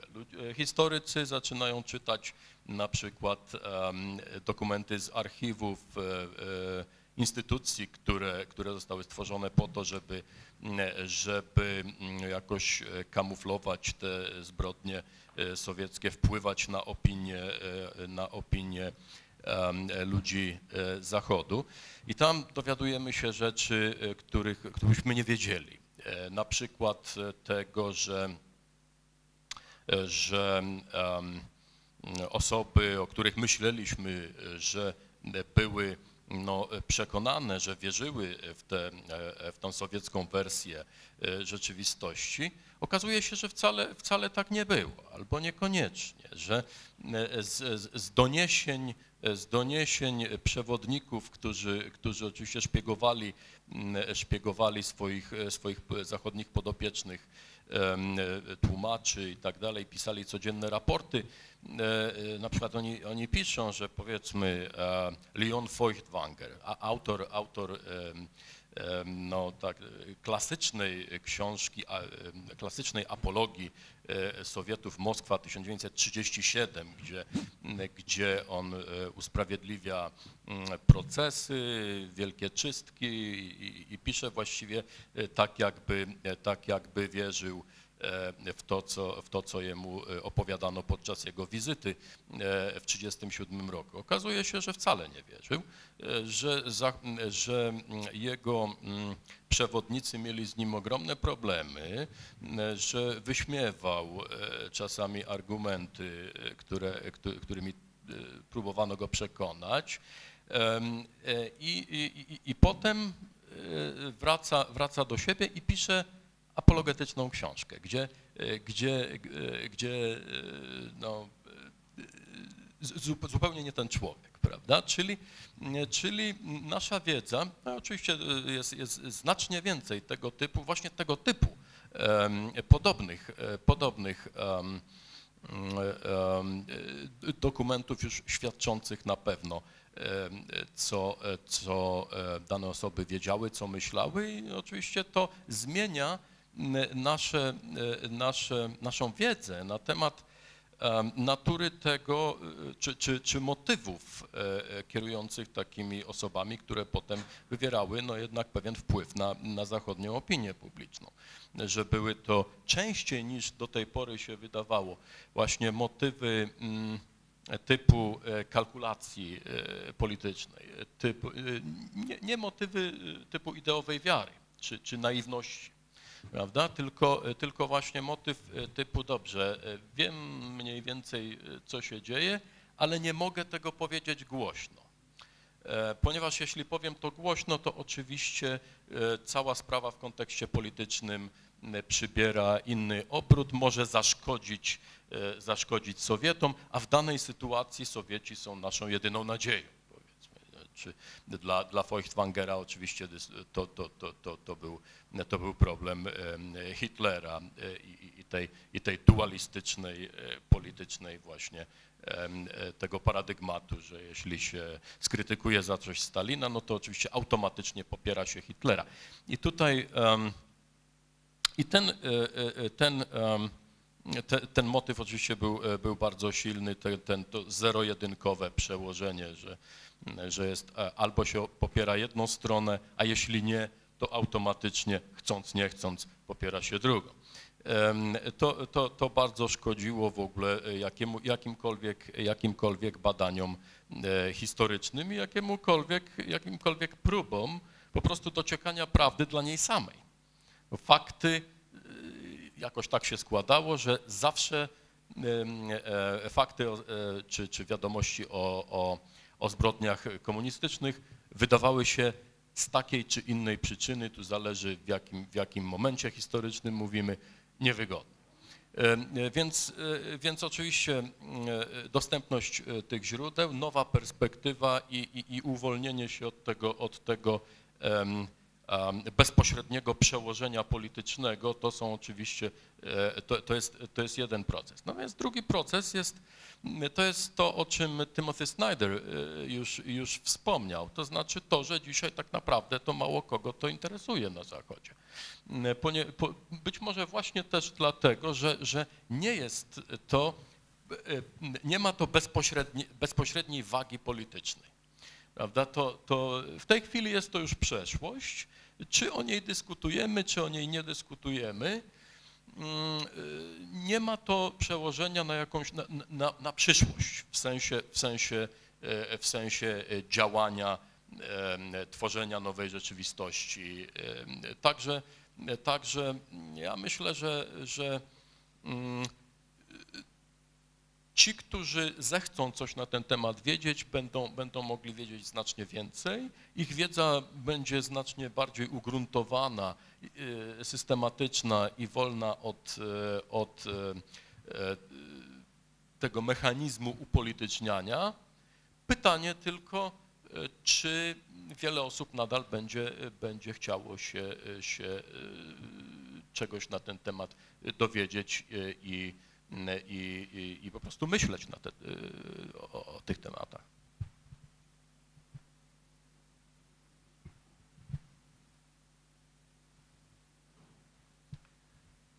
Więc ja, y, y, słuchając um, da, dalszego toku rozmowy, a, y, wymyślałem sobie pewien sprawdzian, czy, czy Zachód milczy i, i dlaczego. I sp tym jest to, jaka była reakcja wobec zbrodni nacystowskich. Nie? Więc to by było pewien sposób, żeby, żeby sprawdzić, czy nasze argumenty o Stanach Zjednoczonych są właściwe. Bo w Stanach Zjednoczonych w latach 30. też wcale nie było tak, że było ogólne oburzenie wobec zbrodni hitlerowskich. Nie? To zostali zauważone do, do pewnego stopnia, ale nie było tak i, i, i na, na, pewno prasa o nich bardziej i, pisała niż o zbrodniach stalinowskich. Ale nie jest to tak, że u nas to wywołało jakieś ogólne zbożenie. I jeżeli, jeżeli kontynuujemy, kontynuujemy te- tę- ten argument do, poprzez II wojnę światową, um, widzimy, że w Stanach był taki problem też w Anglii, taki problem polityczny, że a, przewodnicy państwa bardzo nie chcieli, żeby ludność a, rozumiała wojnę jako wojnę, żeby ratować Żydów, bo społeczeństwa były zbyt antysemickie, by taka argumentacja funkcjonowała. Więc a, ja po prostu to proponuję jako pewien sprawdzian, bo jeżeli chcemy rozumieć, pod, pod, pod jakimi warunkami świat, Zachód tak zwany by oburzył, to, to trzeba rozumieć, że właściwie takie warunki były um, bardzo trudno moim zdaniem do, do, do sobie wyobrażania. A y, chodzi mi o to, że, że, że trzeba rozumieć do jakiego stopnia nasz, przynajmniej amerykański, a, oburzenie czy nie były skutkiem wewnętrznych i nie zewnętrznych czynników. Nie, nie mogliśmy się oburzyć na Holokaust, bo byliśmy za bardzo antysemiccy. Nie? I to, nie ma, to, to, ma, to ma mało wspólnego z Holokaustem, i to, ale to jest, to jest głównie, główna przyczyna jest nasza, we, wewnętrzna. A y, druga taka sprawa, a ja chciałem wspomnieć o tych, którzy przez pewien czas milczeli i potem mówili, bo to jest, to jest bardzo ważna kategoria i, i można by było nawet ryzykować stwierdzenie, stwierdzenie że ci, którzy najbardziej a, elokwentnie i może nawet z największym wpływem mówili, byli ci, którzy poprzednio milczeli. Na przykład um, Kessler, który był wierzącym, jak wiadomo, komunistą, który widział głód na Ukrainie, zaprzeczył i potem um, kilkanaście lat później opisał, albo pochodzący z tego kraju Leszek Kołakowski, który był w latach 70. i 80. może dyskretnie ale, ale bardzo wpływowy w Anglii i w Stanach i całe, dwa całe pokolenia um, studentów w Anglii i w, Ameryce były pod jego wpływem bezpośrednim czy, czy, czy pośrednim. Więc to jest bardzo ważna kategoria, bo jest, bo żeby mówić w taki sposób, żeby przekonać, um, może niepotrzebne, ale na pewno pomocne były jakieś, jakieś, jakieś konkretne, osobiste doświadczenia. I to pomiesza troszeczkę nasze kategorie, bo czy, czy, czy, czy jest Zachodem, czy Köstler jest Zachodem, bo to są ludzie, którzy zabrali doświadczenie na wschodzie, a i potem milczeli przez jakiś czas, ale mówili na zachodzie i, i byli bardzo wpływowi na, na, na, na zachodzie. I ja, wydaje się, że ja po prostu nie, nie mogę się z- zgodzić z, z tezą, że może, że, że milczeliśmy podczas zimnej wojny, bo mi się wydaje, że, że trzeba to, na to patrzeć właśnie inaczej, że, że zimna wojna dla nas, przynajmniej dla Ameryki, była bezprecedensowe zaangażowanie się w świat. Nic, niczego takiego przed tym podczas, um, podczas czasu pokoju nie robiliśmy. To był długoterminowy, militarny, polityczny, gospodarczy i, i kulturowy zaangaż, zaangażowanie się w świat z pewnym celem. I, I to jest, ja mam wrażenie trochę jakby, jakbyśmy to uważali za naturalne. I to nie po prostu się nie umieści w, w, w konwencjach nor- normalnego amerykańskiego postępowania. To było coś zupełnie nowego. I nie, po prostu nie, nie, mogę, nie mogę to połączyć z milczeniem, bo, bo, może, może rozumiem pojęcie za bardzo a, bez koniecznie wyobraźni, ale mi się wydaje, że fakt, że mieliśmy dwa um, stacje radiowe, które transmitowały każdego dnia, dosłownie ka każd o każdej porze, każdego dnia przez dziesięciolecia, nie? Radio Wolnej Europy Radio Swobody, to nie jest milczenie. To może to było gadanie, nie, ale to nie było mil- milczenie. To żadne tam milczenie, to było źródło informacji, nowości, nie da się propagandy, ale nie, nie, jakoś nie jestem w stanie to rozumieć jako, jako, jako milczenie.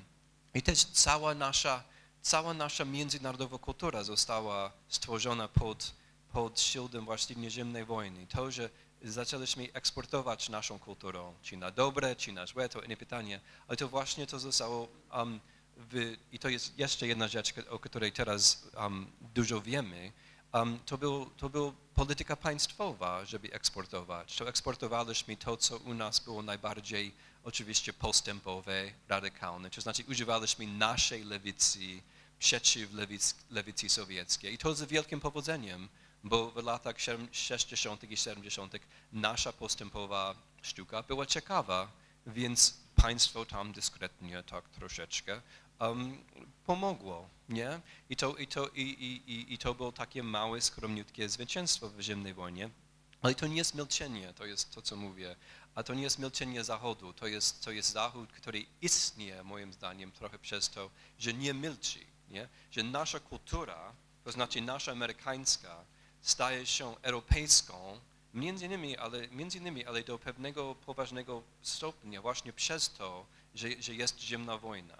Więc to nie, nie mogę to jakoś rozumieć jako, jako milczenie.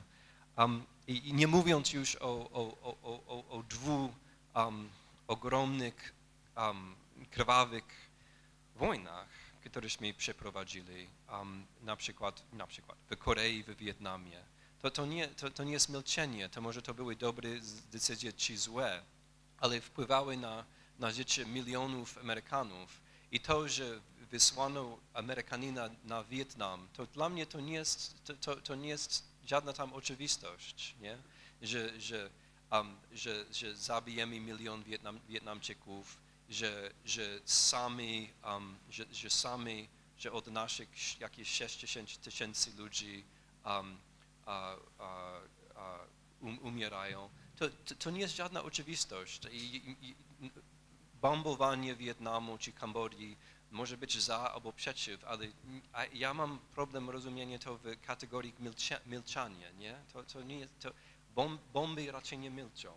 Um, i, I jedna uwaga, um, do, do, do, do tego, co mówił um, kolegi uh, Tolczyka, jest, jest pewna, on ma rację co do tego wszystkiego i to jest, to, to jest bardzo ciekawe, jest pewnie tutaj paradoks wywiadu, że nasz wywiad, um, nasz wywiad był raczej wolny w takich sprawach kultury, a sprawach w ogóle propagandy, um, sprawy seksualnej.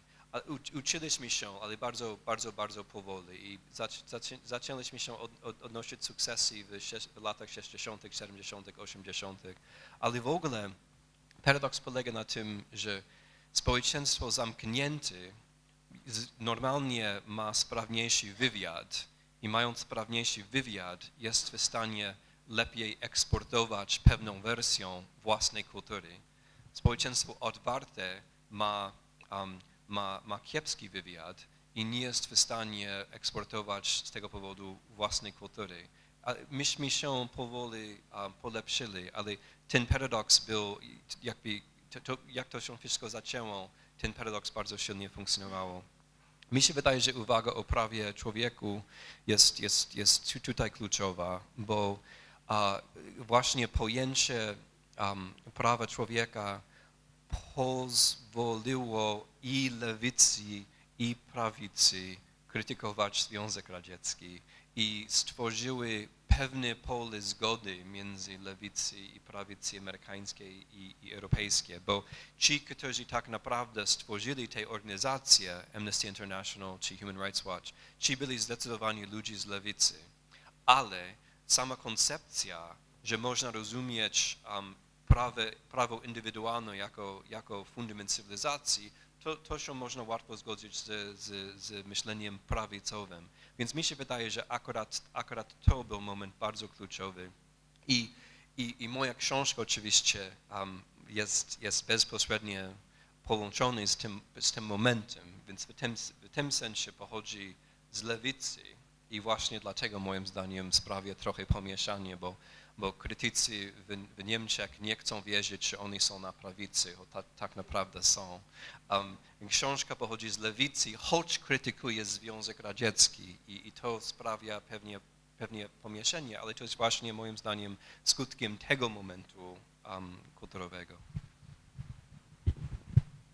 Czy właściwie poruszył nasz moderator dwa wymiary. Jeden wymiar to jest dyskusja na temat, nazwijmy to ogólnie, e, historii kultury politycznej Zachodu i teraz skupmy się na tym rzeczywistym Zachodzie, e, tym powojennym. I tutaj percepcja komunizmu, ocena zbrodni, e, też szczególnie po, po lewej stronie i po stronie politycznego centrum była bardzo ważnym czynnikiem. Tutaj dorzuciłbym dwa aspekty, o których nie mówiliśmy. Jeden, tutaj broń Boże, nie jako Polak, który siebie widzi ciągle w roli ofiary, wręcz przeciwnie, y, jest tragiczna, y, tragiczny problem per- percepcji kulturowej, tak bym to nazwał. Y, Dwa przykłady. To są książki Józefa Czapskiego e, i ich, i, Gustawa Herlinga i ich funkcjonowanie w Europie chociażby zachodniej. Tak? Czapskiego książka na nieludzkiej ziemi we Francji chyba natychmiast w 1945-1946 się ukazała. Tam był bardzo praktyczny problem. KGB natychmiast starało się wykupić cały nakład, więc de facto książka nie pojawiła się w dystrybucji y, i nie można mówić tutaj jakiejś percepcji.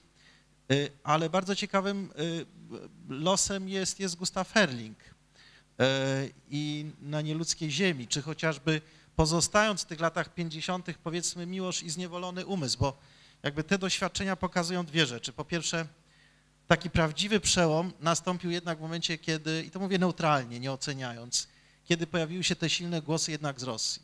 Tak? Znaczy była jednak percepcja kulturowo, nazwijmy to etniczna.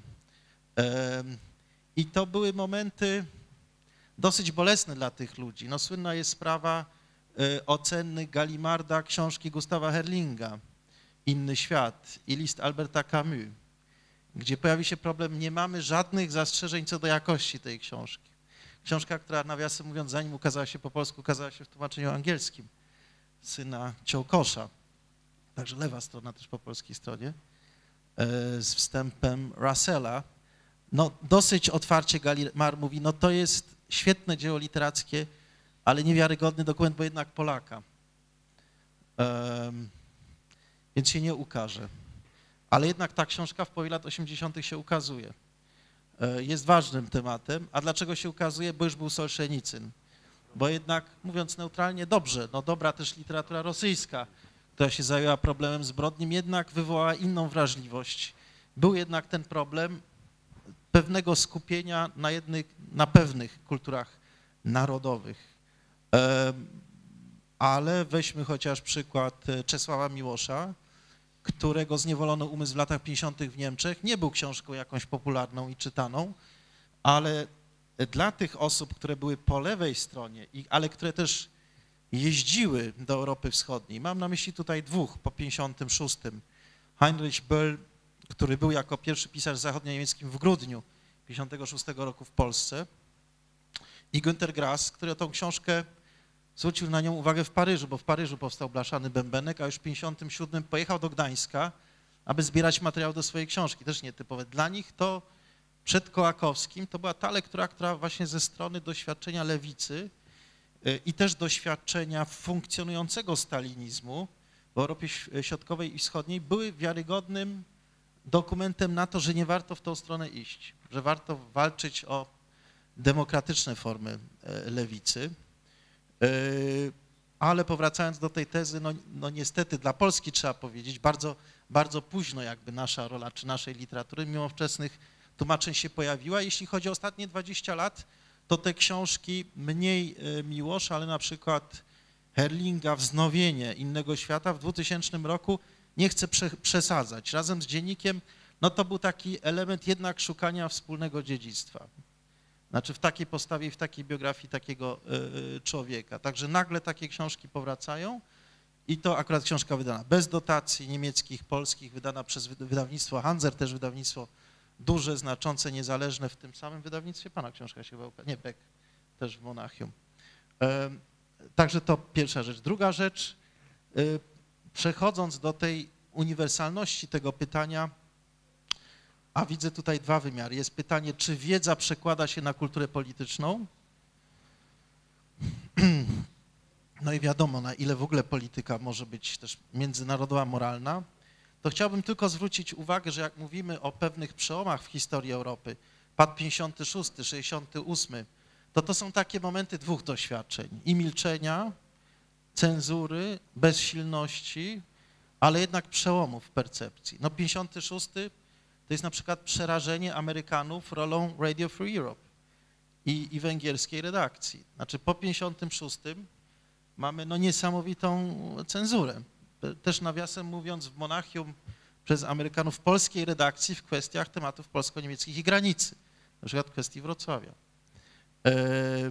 Ale z drugiej strony 56, 68 to jest też fala emigrantów z Węgier czy z Czechosłowacji, którzy przez jakość swojej literatury, przez swój autorytet budują coś takiego jak nowy dyskurs antykomunistyczny. No we Francji, no niestety dzisiaj nikt nie zna tego nazwiska, jeszcze żyje, chyba ma 96 lat, François Feyteux, który potem pisze no, standardową książkę o historii ludowych demokracji. E, Tutaj widzę pana Buzka z Austrii w obszarze niemieckojęzycznym, Paul Lendwaj, e, dziennikarz, publicysta, który no, nadal jest autorytetem. Znaczy to są nowe głosy, to są głosy, które też zmieniają y, dyskurs na temat lewicowości, na temat Europy Środkowej, na temat y, komunizmu. Powracając do tej kwestii bardziej zasadniczej, to znaczy ja jestem bardzo ostrożny i powiem szczerze, jestem bardzo niepewny, w jaki sposób y, połączyć dzisiejszy rozwój intelektualny, powiedzmy Europy tylko, i naszej wiedzy i pozytywne fenomeny z problemem kultury politycznej. Y, Z pozytywnych rzeczy, to nie padło tutaj, wydaje mi się, że też takim bardzo ważnym tłem na przykład dla akceptacji książki y, profesora Snydera jest na pewno też to, że pojęcie ULB polskie, znaczy postrzeganie Europy Wschodniej nie tylko jako obszaru imperium rosyjskiego czy sowieckiego, znaczy zmieniło się na tyle, że na przykład w Niemczech, nie wiem jak jest dalej w Europie Zachodniej, ale już nie dziwi problematyka niepodległej Ukrainy czy Białorusi, już nie mówiąc oczywiście o Litwie, która jest y, w Unii Europejskiej, to też otwiera jakby dodatkową perspektywę, żeby zastanowić się, co, się, co działo się z narodem ukraińskim albo z Ukraińcami na, na, na tym terenie. To jest dosyć nowe y, doświadczenie. To też tłumaczy, dlaczego niezależnie od piłki nożnej i od euro y, sprawa Tymoszenko interesuje. To są też, też nie idealizując, ale widzę takie pozytywne wpływy. Też pozytywne wpływy y, historyków, intelektualistów, tej może naszej generacji, Snydera, Büllera, którzy właśnie już studiowali w Europie Środkowej, którzy poznali te języki, którzy czytają źródła. To jest bardzo ważna rzecz.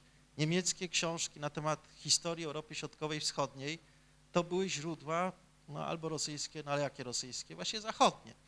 Nikt nie starał się y, poznać źródła, już nie mówiąc o perspektywie y, tych narodów. To się zasadniczo zmieniło. Znaczy dzisiaj historyk niemiecki, który pisze o historii Polski, nie czytając polskich źródeł, polskiej literatury, jest w Niemczech postrzegany jako właśnie nie- niepoważny naukowiec. Y, I, I dzisiaj jesteśmy w fazie, to jest faza ostatnich 10 lat, jednak też takiej nowej wiedzy i wrażliwości, jeśli chodzi o te państwa bardziej położone na wschód. Ale czy to się przekłada na kulturę polityczną? Bardzo się ucieszyłem, jak pan Moorhouse em, zwrócił uwagę w ogóle na rolę i symboliczny autorytet, paradoksalny Hobsbawma, którego chyba też wydaje Beck, to samo wydawnictwo co pana. I pan profesor Toczek w swoim no naprawdę znakomitym eseju, mówię, bo y, ten, ta broszura została rozdana, kończy właśnie aktualnym cytatem profesora Hobsbawma. Nie będę całego czytała, wy, y, cytował, wypowiedź jest między, ta, między innymi taka. Tu chodzi oczywiście o ocenę komunizmu w XX wieku, ale jest pytanie, na ile jest to w ogóle nieaktu, na, na ile to nie jest aktualne. E, Bardzo krótko. Nowoczesny wybór polityczny, mówi Hobsbawm, jest wyborem między różnymi gotowymi pakietami, bardzo to nowocześnie brzmi, w których kupujemy między innymi rzeczy niechciane, ponieważ nie ma innego sposobu, żeby dostać również resztę zawartości pakietu, o którą nam właśnie chodzi. Nie ma innego sposobu na polityczną efektywność. I wydaje mi się, niezależnie od polityki europejskiej, polityki zagranicznej i pytania, czy można ją prowadzić w kontekście wartości, pytanie jest, czy znowuż nie żyjemy w czasach, w których znowuż to pytanie o efektywność polityczną się pojawia. I o problem przemocy, i o problem pokojowych, bezprzemocowych rozwiązań. I zakończę przerażającym mnie przykładem naszych badań socjologicznych na temat pamięci Solidarności. Dwa lata temu Europejskie Centrum Solidarności opublikowało badania profesora Ireneusza Krzemińskiego na temat dzisiaj pamięci w III Rzeczpospolitej charakteru, pokojowego charakteru Polskiej Rewolucji Solidarności i stosunku do tej siły bezsilnych. Przerażający jest e, wynik, mianowicie pokazuje podział generacji uczestników świadków na tych, którzy się chwalą, uważają, tak, jest to nadal model, który powinniśmy promować, tylko pokojowe rozwiązania są skuteczne w polityce. I druga część, która mówi, żałujemy, żałujemy tego pokojowego rozwiązania. E, właśnie, elementem efektywności politycznej jest też co? Kontrolowana przemoc. I tu jesteśmy właściwie w klasycznym dyskursie e, no, lewicy, czy też prawicy. Tak? Znaczy, na ile trzeba oddalić się od żmudnej demokracji, od kompromisów, od przera przerażającej, nużącej kultury dialogu, powiedzmy sobie wprost, i wybierać drogi autorytarne. I to jest pytanie, czy jednak nie żyjemy dzisiaj w czasach paradoksu. Nasza wiedza jest gigantyczna na temat III Rzeszy, y, bolszewizmu. Co więcej, wszędzie mamy bardzo krytyczne debaty na temat też historii narodowej. I mamy wszelkie odpowiedzi na pytanie, na ile my, jako społeczeństwo francuskie, niemieckie czy polskie, byliśmy też uwikłani w te zbrodnie. A jednocześnie pojawia się, wydaje mi się, atrakcyjność takiego cynicznego realizmu. Po co być solidarnym, jak to nie ma wpływu? Znaczy, po co stanąć po stronie Solidarności, jak i tak, i tak nie zmienimy układu świata i sił? No i pytanie, na ile Hobsbawm swoim politycznym cynizmem, odnosząc się do niby wartości oświeceniowych, nie stanie się nadal aktualnym bohaterem. Czy stanie się aktualnym bohaterem też w Europie, tej, którą nazywamy zachodnią.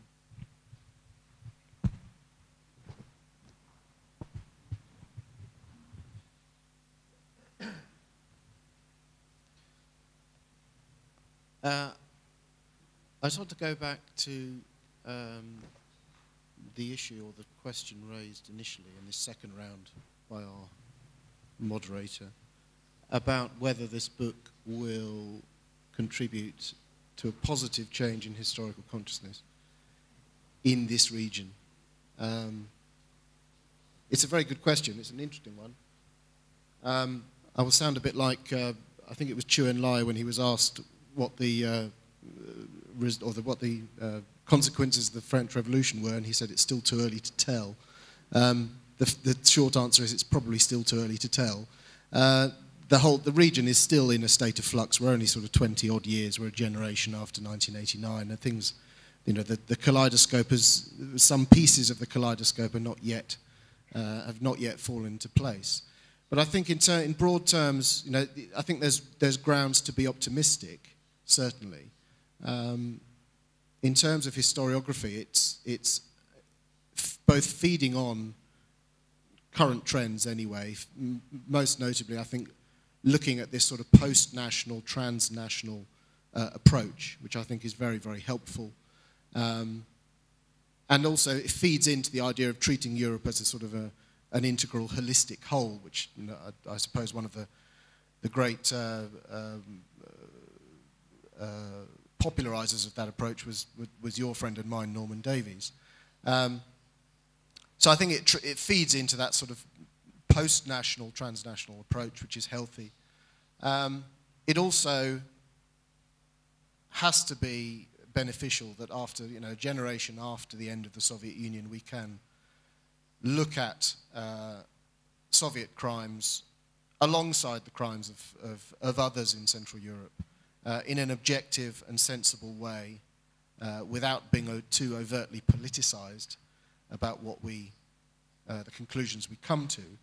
Uh, as I say, it is still early days. I think some of the best scholarship on Nazi Germany, for example, uh, came out in really from the 1980s onwards uh, and is still coming out now. So in that example, it was a good 40 years after the end of the Third Reich before the really good scholarship began to feed through. Um, so in that case, our 20 years after 1989-91 is a fairly short time indeed. So we probably need another generation before we can really develop this further. Um, but it has to be beneficial, I think, for the development of, of our concept of civil society in this, in this region. You have to have, I think, um, a decent, objective view of your own history uh, to, to fully develop as a citizen. And that's, a, that's an important part of the process. And a book like this one, I think, contributes very positively uh, in that direction.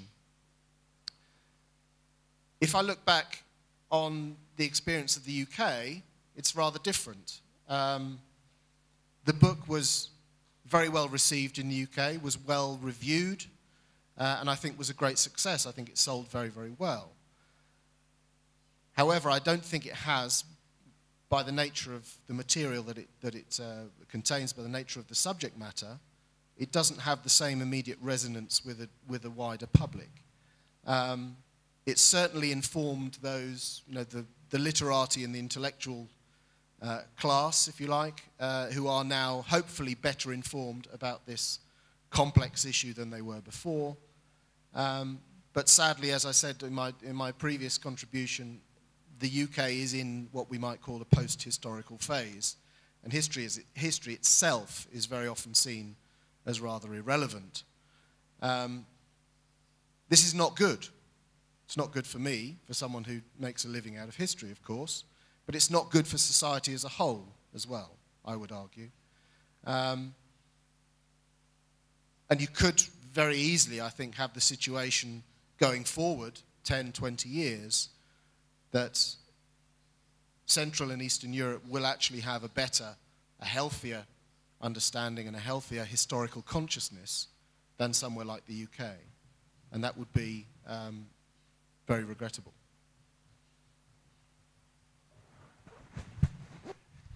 Dziękuję bardzo. Mm, Czas na Państwa pytania. Mm, e, Mamy dwa pytania adresowane do, e, do konkretnych panów. Jedno z nich pan Timothy Snyder najpierw, może w takim razie, a potem pan Morehouse.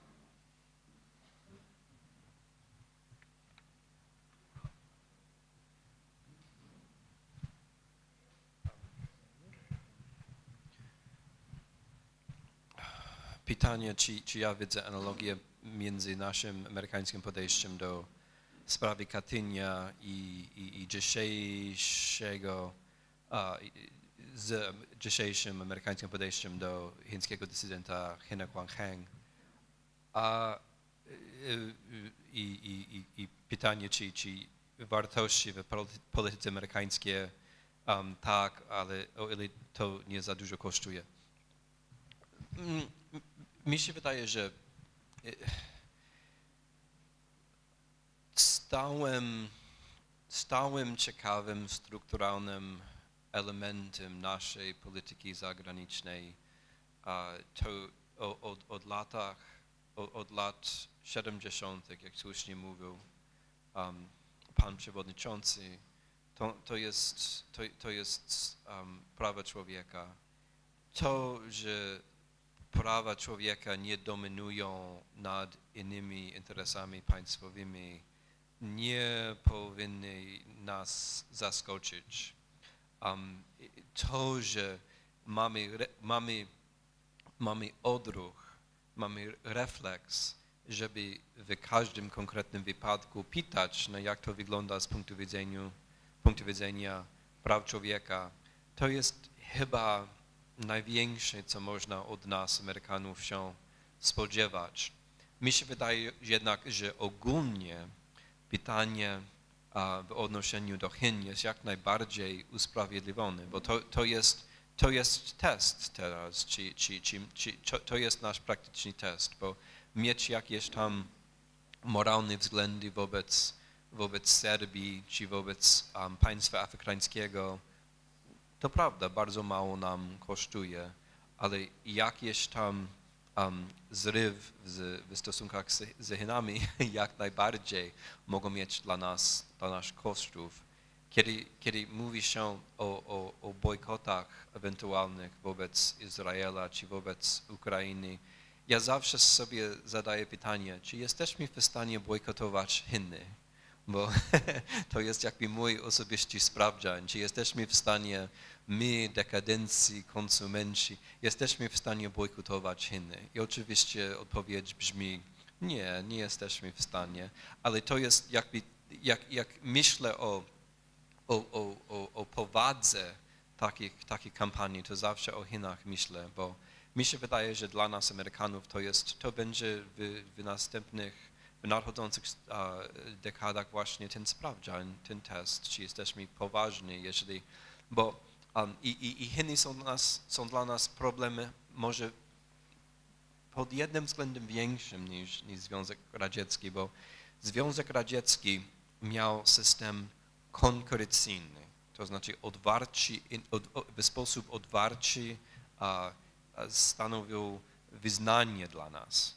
Nie? I, I byliśmy, zostaliśmy, byliśmy zmuszeni poniekąd do pewnych kompromisów ideologicznych, że też my chcemy a, światu pomagać modernizować, że też nie jesteśmy obojętni a, a, losowi naszych najbiedniejszych i tak dalej.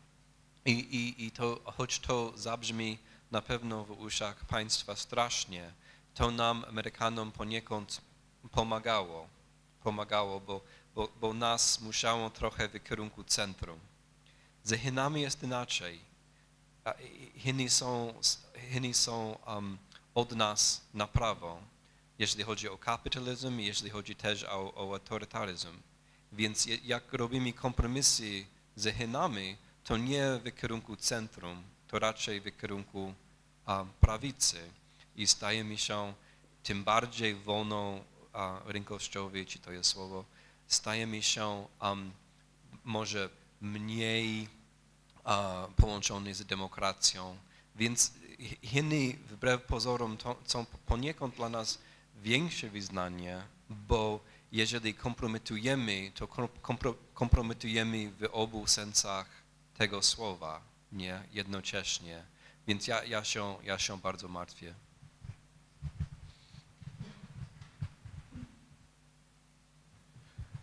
Uh, I had a, a question here, which was um, what is right, in inverted commas, about Hitler and National Socialism? Uh, and isn't your calling of them this way a kind of victory of Soviet propaganda? Um, I, use, I use the term right in the broad sense that I think a lot of people do. Right, left, would, you know, goes back to the French Revolution. Um, so it's, it's shorthand, political shorthand for describing the movement. There is, a, there is an important point here as well, that this is, of course, National Socialism. That's what Nazism's, Nazis stand for, Nationalsozialistisch. Um, and the origins of the Nazi movement are, have, a, have an awful lot of the left in them, um, hence the name. It was an attempt really to harness the appeal uh, and to some degree the methods of the left, of Marxism, to, to harness those to nationalist ends. Um, and there are a lot of individuals within the Nazi movement in those early years, Goebbels being one of them, who was on the, very much on the left of the party, who believed in that, in that socialist element within National Socialism. Um, for instance, the, the, the um, 25-point plan that was drawn up when the, the party was founded in 1920 foregrounded anti-capitalism as one of its founding prin- principles. So there's a lot of the left, in inverted commas, in National Socialism. So I can see the, the idea behind the question. As Nazism developed through, took power, and then subsequently into the Third Reich, the left is, the left aspect, the socialist aspect, is um, progressively watered down, uh, but never leaves entirely. I mean, the one, the one remarkable point, I think, which is often forgotten about the Third Reich, and this issue about, in my recent book, um, Berlin at War, um, Stolice Hitlera in Polish, um, one of the points that's often forgotten, I think, is that the loyalty felt by people to the Third Reich was not necessarily ideological. It was very, could be very practically motivated. And it was motivated because the regime took care of them. The regime provided um, bunkers, it provided uh, furniture and clothing for those bombed out. Uh, it took good care of its people. Um, in a way, for example, that um, the British state really didn't take care of those that were bombed out of the war uh, during the war in the UK. Uh, the standard provision for those in the UK was what was called either a Morrison shelter, which was a uh, an Anderson shelter, sorry, which was a, a, a, basically a piece of tin in your garden to hide underneath, or a Morrison shelter, which was a, a steel cage that you put under the kitchen table and hide underneath. That was the basic provision uh, for, for air raid protection. And you compare that, any of, the, any of you that have been to Berlin and seen the flak towers and the bunkers in Berlin, uh, the comparison is embarrassing for the British in that way. And, and that is an important point to make that, that the, the Nazi regime, for all its horrors elsewhere, it certainly took care of its own people. And that was one of those crucial mo- motivators in generating that loyalty. Um, so the left aspect, that idea of, uh, of taking care of the national community, the Volksgemeinschaft, never really uh, disappeared entirely. Uh, it was always, a, uh, it's always there in National Socialism, um, but it, it, sort of gradually was, was watered down. Um, the final point about is this is my using the word right about Hitler and National Socialism a victory for Soviet propaganda? Um, absolutely not. I don't really see the point of that, to be honest, but there we are. Hope that answers the question. Y, Jedno jeszcze pytanie, mm, to skierowane ogólnie. Co panowie myślicie o koncepcji zrównania zbrodni sowieckich i nazistowskich w kontekście, gdy tego rodzaju projekty i inicjatywy polityczne, jak rozumiem chodzi o skrajną prawicę, e, są coraz silniejsze w Europie? Jest to, jest to, jak rozumiem, pytanie o ten fenomen e, sk- współczesnej skrajnej prawicy, która w wielu krajach zachodniej Europy zwłaszcza, nawet szalenie stabilnych i gospodarczo wydawałoby się zamożnych, no, e, rodzi się na nowo. Kto z panów? Mogę, mogę odczytać, bo to, o, to jest po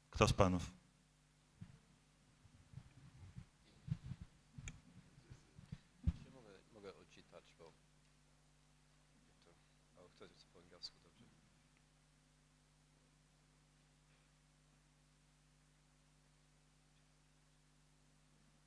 Okej. Więc ja właściwie na, napisałem całą książkę na ten temat i, i, i, poś, i, i, i po, poświęciłem, poświęciłem połowie dzisiejszego dnia właśnie też poniekąd temu tematowi. Więc um, ja, ja trochę inaczej opowiem, bo mi się wydaje, że jest pokusa bardzo silna jest taka, żeby myśleć, no tak, jeżeli mówimy o, o, o zbrodniach nacystowskich i zbrodniach sowieckich, jeżeli w ogóle mówimy razem o tych wyrażeniach, to znaczy, że jest porównanie i tak dalej do nudów. I potem, jeżeli, jeżeli, jeżeli jest porównanie, to znaczy z kolei, że jest zrównanie, co oczywiście też w ogóle nie jest logiczne. Um, moim zdaniem musimy, musimy jako, jako obywatele a, zacząć inaczej. Musimy rozumieć, że porównanie jest rzeczą naturalną i, i, i ludzką właśnie w tym regionie, bo a, każdy Żyd, każdy Polak, każdy Ukrainiec, który mieszkał w tych terenach, których, które nazywałem um, skrawiony, skrawionymi ziemiami, każdy, niezależnie czy Żyd, Rosjan, um, Litwin, to nie ma znaczenia, miał do czynienia z oboma systemami. Tak po prostu. Cały Holokaust odbył się, cały Holokaust odbył się na terenach też doty, dotykniętych sowiecką władzą. Tak po prostu. Tak to po prostu jest. To jest banalna obserwacja moja. Więc um, porównanie to nie jest jakieś um, agresywna działalność z zewnątrz. Um, raczej brak porównania to jest agresywna działalność a, z zewnątrz. Bo ci, którzy byli um, na wewnątrz, musieli porównać i porównywali. Każdy, kto czyta um, żydowskie źródła z tego okre- okresu, co ja obsesyjnie robiłem w różnych językach, albo ukraińskie, albo polskie, wie, że tam w źródłach są porównania, bo oni musieli oczywiście wykonywać trudne wybory, w jakim kierunku biegać, um, z kim szukać a, a, ugodę i tak dalej. Więc sam, sam banalny fakt, że każdy, który mieszkał w tych ter- terenach, czy Żyd, czy Ukrainiec, czy Polak, miał do czynienia z, obu, z oboma systemami, znaczy, że porównanie nie jest coś, co my robimy, to jest coś, co jest integralną, organiczną częścią doświadczenia um, ludzi po prostu. To my musieliśmy bardzo często, bardzo ciężko pracować narodowo i ideologicznie, żeby te porównanie ludzkie, organiczne, naturalne um, zapomnieć. Nie? To, to, to jest właśnie bardzo, moim zdaniem, bardzo, to, to jest funkcjonujący przykład właściwie milczenia Zachodu, ale nie tylko Zachodu um, w, w tych sprawach. Więc porównanie to jest dla mnie rzecz jak najbardziej naturalną.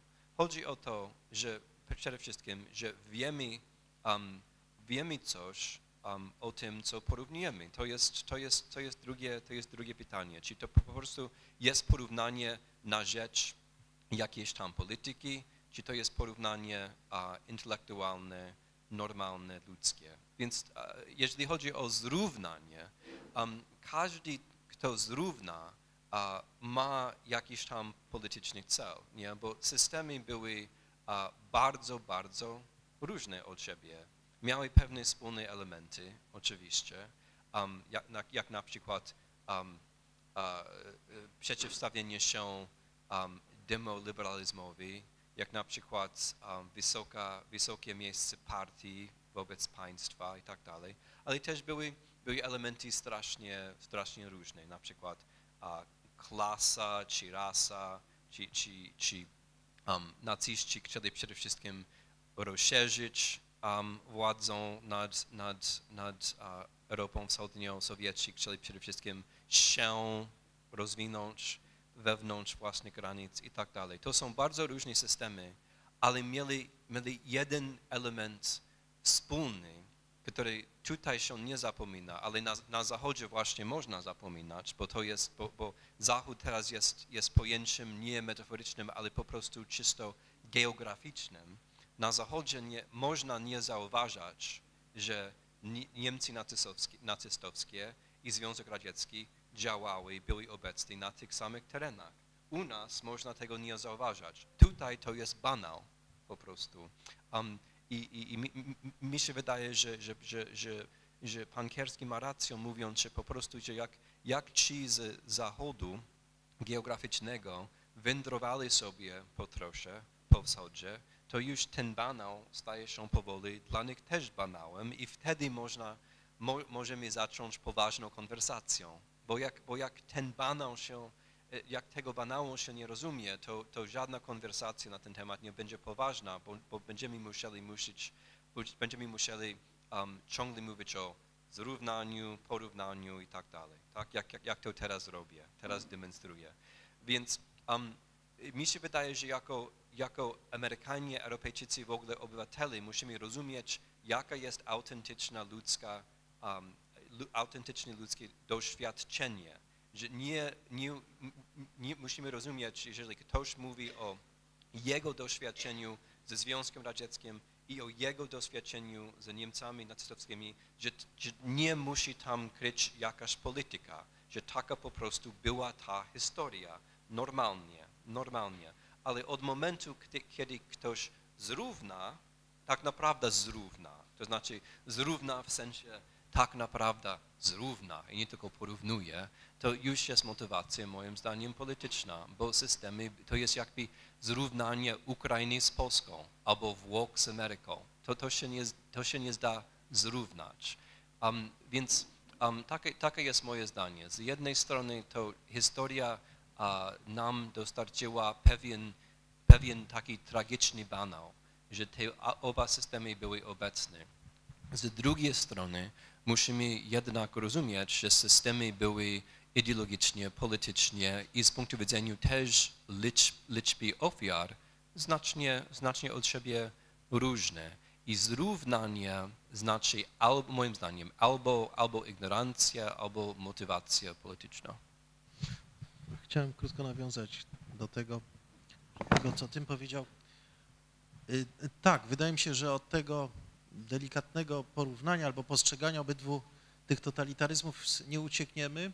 Y, Chociażby warto spojrzeć, przeczytać te dzienniki, które w ostatnich latach się w Polsce ukazały, których już nie czytamy, może za późno się ukazują, trzy tomy Iwaszkiewicza, czy chociażby teraz już pełne wydanie Marii Dąbrowskiej, już trzecia próba. I to jest dosyć ciekawe, e, bo to są osoby przecież, które przed 45 czy przed wojną e, no, były bardzo krytycznie nastawione e, wobec obydwu totalitaryzmów.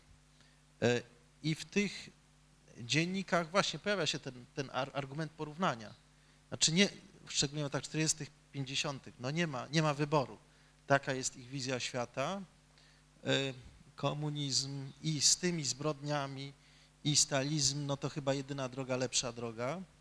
E, Szczególnie u Iwaszkiewicza to mnie fascynuje, bo mam wrażenie, że to jest taka kapitulacja, to znaczy to jest pos- postrzeganie 45 roku jako totalnego upadku cywilizacji europejskiej. I, I w tym kontekście upadku nie widzi żadnych pozytywnych, nazwijmy to utopijnych dróg, albo te drogi, które dzisiaj są dla nas oczywiste. No i wybiera dziwną drogę kompromisu.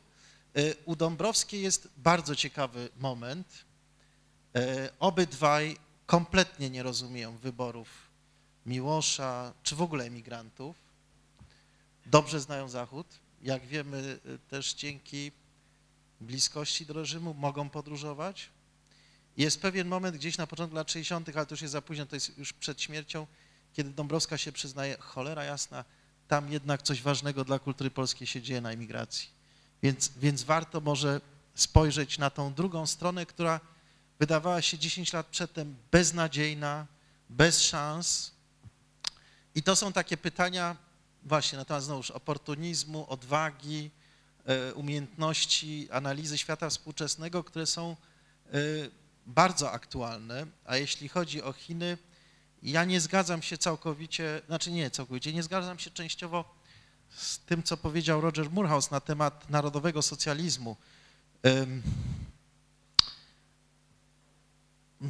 Mam wrażenie, że narodowy socjalizm to, to pewien paradoks. Z jednej strony niesamowitej ciągłości elit, e, też przemysłu, kapitalistycznych elit i wzbogacenia tych elit e, podczas wojny i potem po wojnie. E, Oczywiście mówimy o tych elitach, które nie były żydowskie, więc jest to też pewna etniczna wizja kapitalizmu.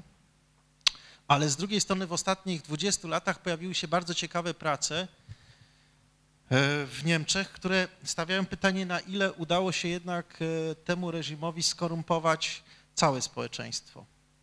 E, Słynna książka Goetza Aliego Der Volksstaat. Ciężko to, to brzmi prawie że socjalistycznie, tak? Państwo ludu. To jest właśnie pytanie, na ile ten system opieki, na ile ten, ta perspektywa awansu społecznego przez kolonializację na wschodzie zmieniła społeczeństwo niemieckie. Ale powiem szczerze, nie znam dzisiaj żadnego poważnego niemieckiego historyka, który by widział jakąś bliskość narodowego socjalizmu z niemieckimi tradycjami socjaldemokratycznymi, powiedziałbym.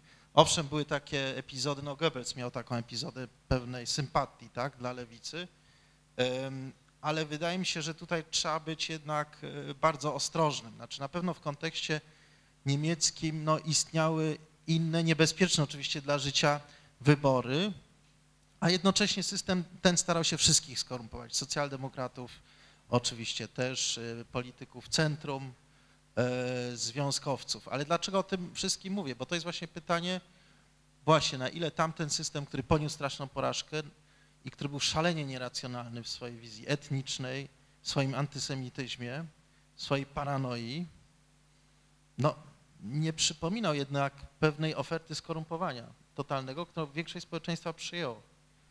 Sz- Szczególnie, kiedy się otwierały te perspektywy kolonializacji, kiedy się wydawało, że to się uda, że powstaje państwo, które otworzy ludziom, Martin Polak to świetnie opisał na przykładzie swojego ojca, z Gracu, czy tam z Berlina, czy z innej prowincji, szansę nowej egzystencji, awansu, wzbogacenia się na wschodzie. I właśnie na ile lata, szczególnie 30, ale też wojna była pewną kontynuacją pewnych pseudoracjonalnych y, powiązań też gospodarczych. Znaczy to brzmi bardzo lewicowo. Chciałem tylko powiedzieć, że te dylematy, o których y, rozmawiamy, one są szalenie aktualne. Y, Powracając do Polski, skrytykowałem pamięć Solidarności. No ja z przerażeniem brałem ostatnio udział w debacie, którą wspólnie z krytyką polityczną y, organizowaliśmy i kiedy 20-30-latkowie mówili językiem antydemokratycznej lewicy. Kwestionowali to państwo. Tak? To państwo zawiodło. E, Michnik zdradził. Znaczy, tego się trochę boję. Jestem wielkim optymistą, bo przeżywam niesamowite zmiany kulturowe, o których rozmawialiśmy, szczególnie w Europie Środkowej, ale jestem przerażony, kiedy jednak znowuż język przemocy wkracza w nasz język dyskursu demokratycznego i dziwię się, że mało kto kojarzy to z pewnymi doświadczeniami XX wieku. Albo że jak duży jest dystans między naszą wiedzą, naszym wykształceniem, a naszą kulturą polityczną dzisiaj.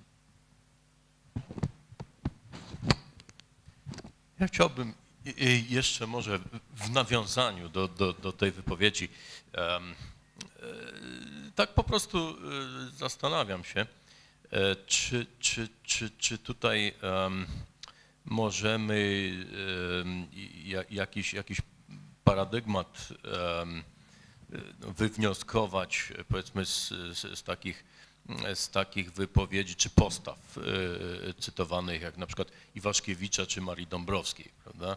Mm, Gdzie no, jest oczywista róż- różnica, że, że e, w, w, w tym systemie komunistycznym, no, w takiej postaci, w jakiej on w Polsce, w Polsce był po 1945 roku, mm, pojawia się realna perspektywa jakiegoś egzystowania i być może, być może e, nawet, e, nawet coś, e, coś,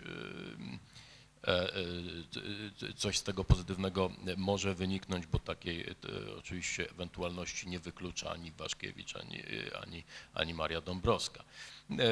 Może, może Dąbrowską zostaw, zo- zostawmy na chwilę, ale na przykład Iwaszkiewicz, no może Iwaszkiewicz też nie jest, nie jest najlepszym przykładem. Ale tu pojawia się pytanie mm, bardziej abstrakcyjne. Em, e, Różnica pomiędzy, pomiędzy realnym nazizmem w, w Polsce, a realnym komunizmem w Polsce była mię- między innymi taka fundamentalna różnica, że nazizm y, nie, nie przedstawiał jakiegoś planu skorumpowania polskich elit. Prawda? Polskie elity po prostu kwalifikowały się pod ścianę Y, i, i, i, i- to było jasne y, i dla nazistów, i dla polskich elit. Natomiast oczywiście komunizm y, posługiwał się innymi metodami. Przedstawił, przedstawił elitom realną szansę no nie tylko zaistnienia, ale i odniesienia sukcesu. Jeśli przeniesiemy się na przykład do Francji, prawda, to tam, to tam ten odbiór, odbiór okupacji nazistowskiej, ja myślę, przypominał e, e, w wielu aspektach właśnie postawę Iwaszkiewicza, powiedzmy, czy, czy, czy, czy ludzi, którzy, no, co, oczywiście oni brzydzili się tym, co, co, co, co głosili naziści, ale głośno o tym nie mówili. Nie, poza tym nie byli, nie byli zmuszani do tego, żeby, żeby otwarcie ten nazizm y, popierać nawet, prawda? Tylko po prostu mieli możliwość dalszego jakby możliwość tego, żeby robić swoje, żeby, żeby jakoś tam, em, jakoś tam pozytywnie patrzeć, patrzeć w przyszłość. Em, Czy, no nie wiem, może właśnie, bo to takie trochę zaczepne pytanie, żebyśmy w końcu trochę podyskutowali.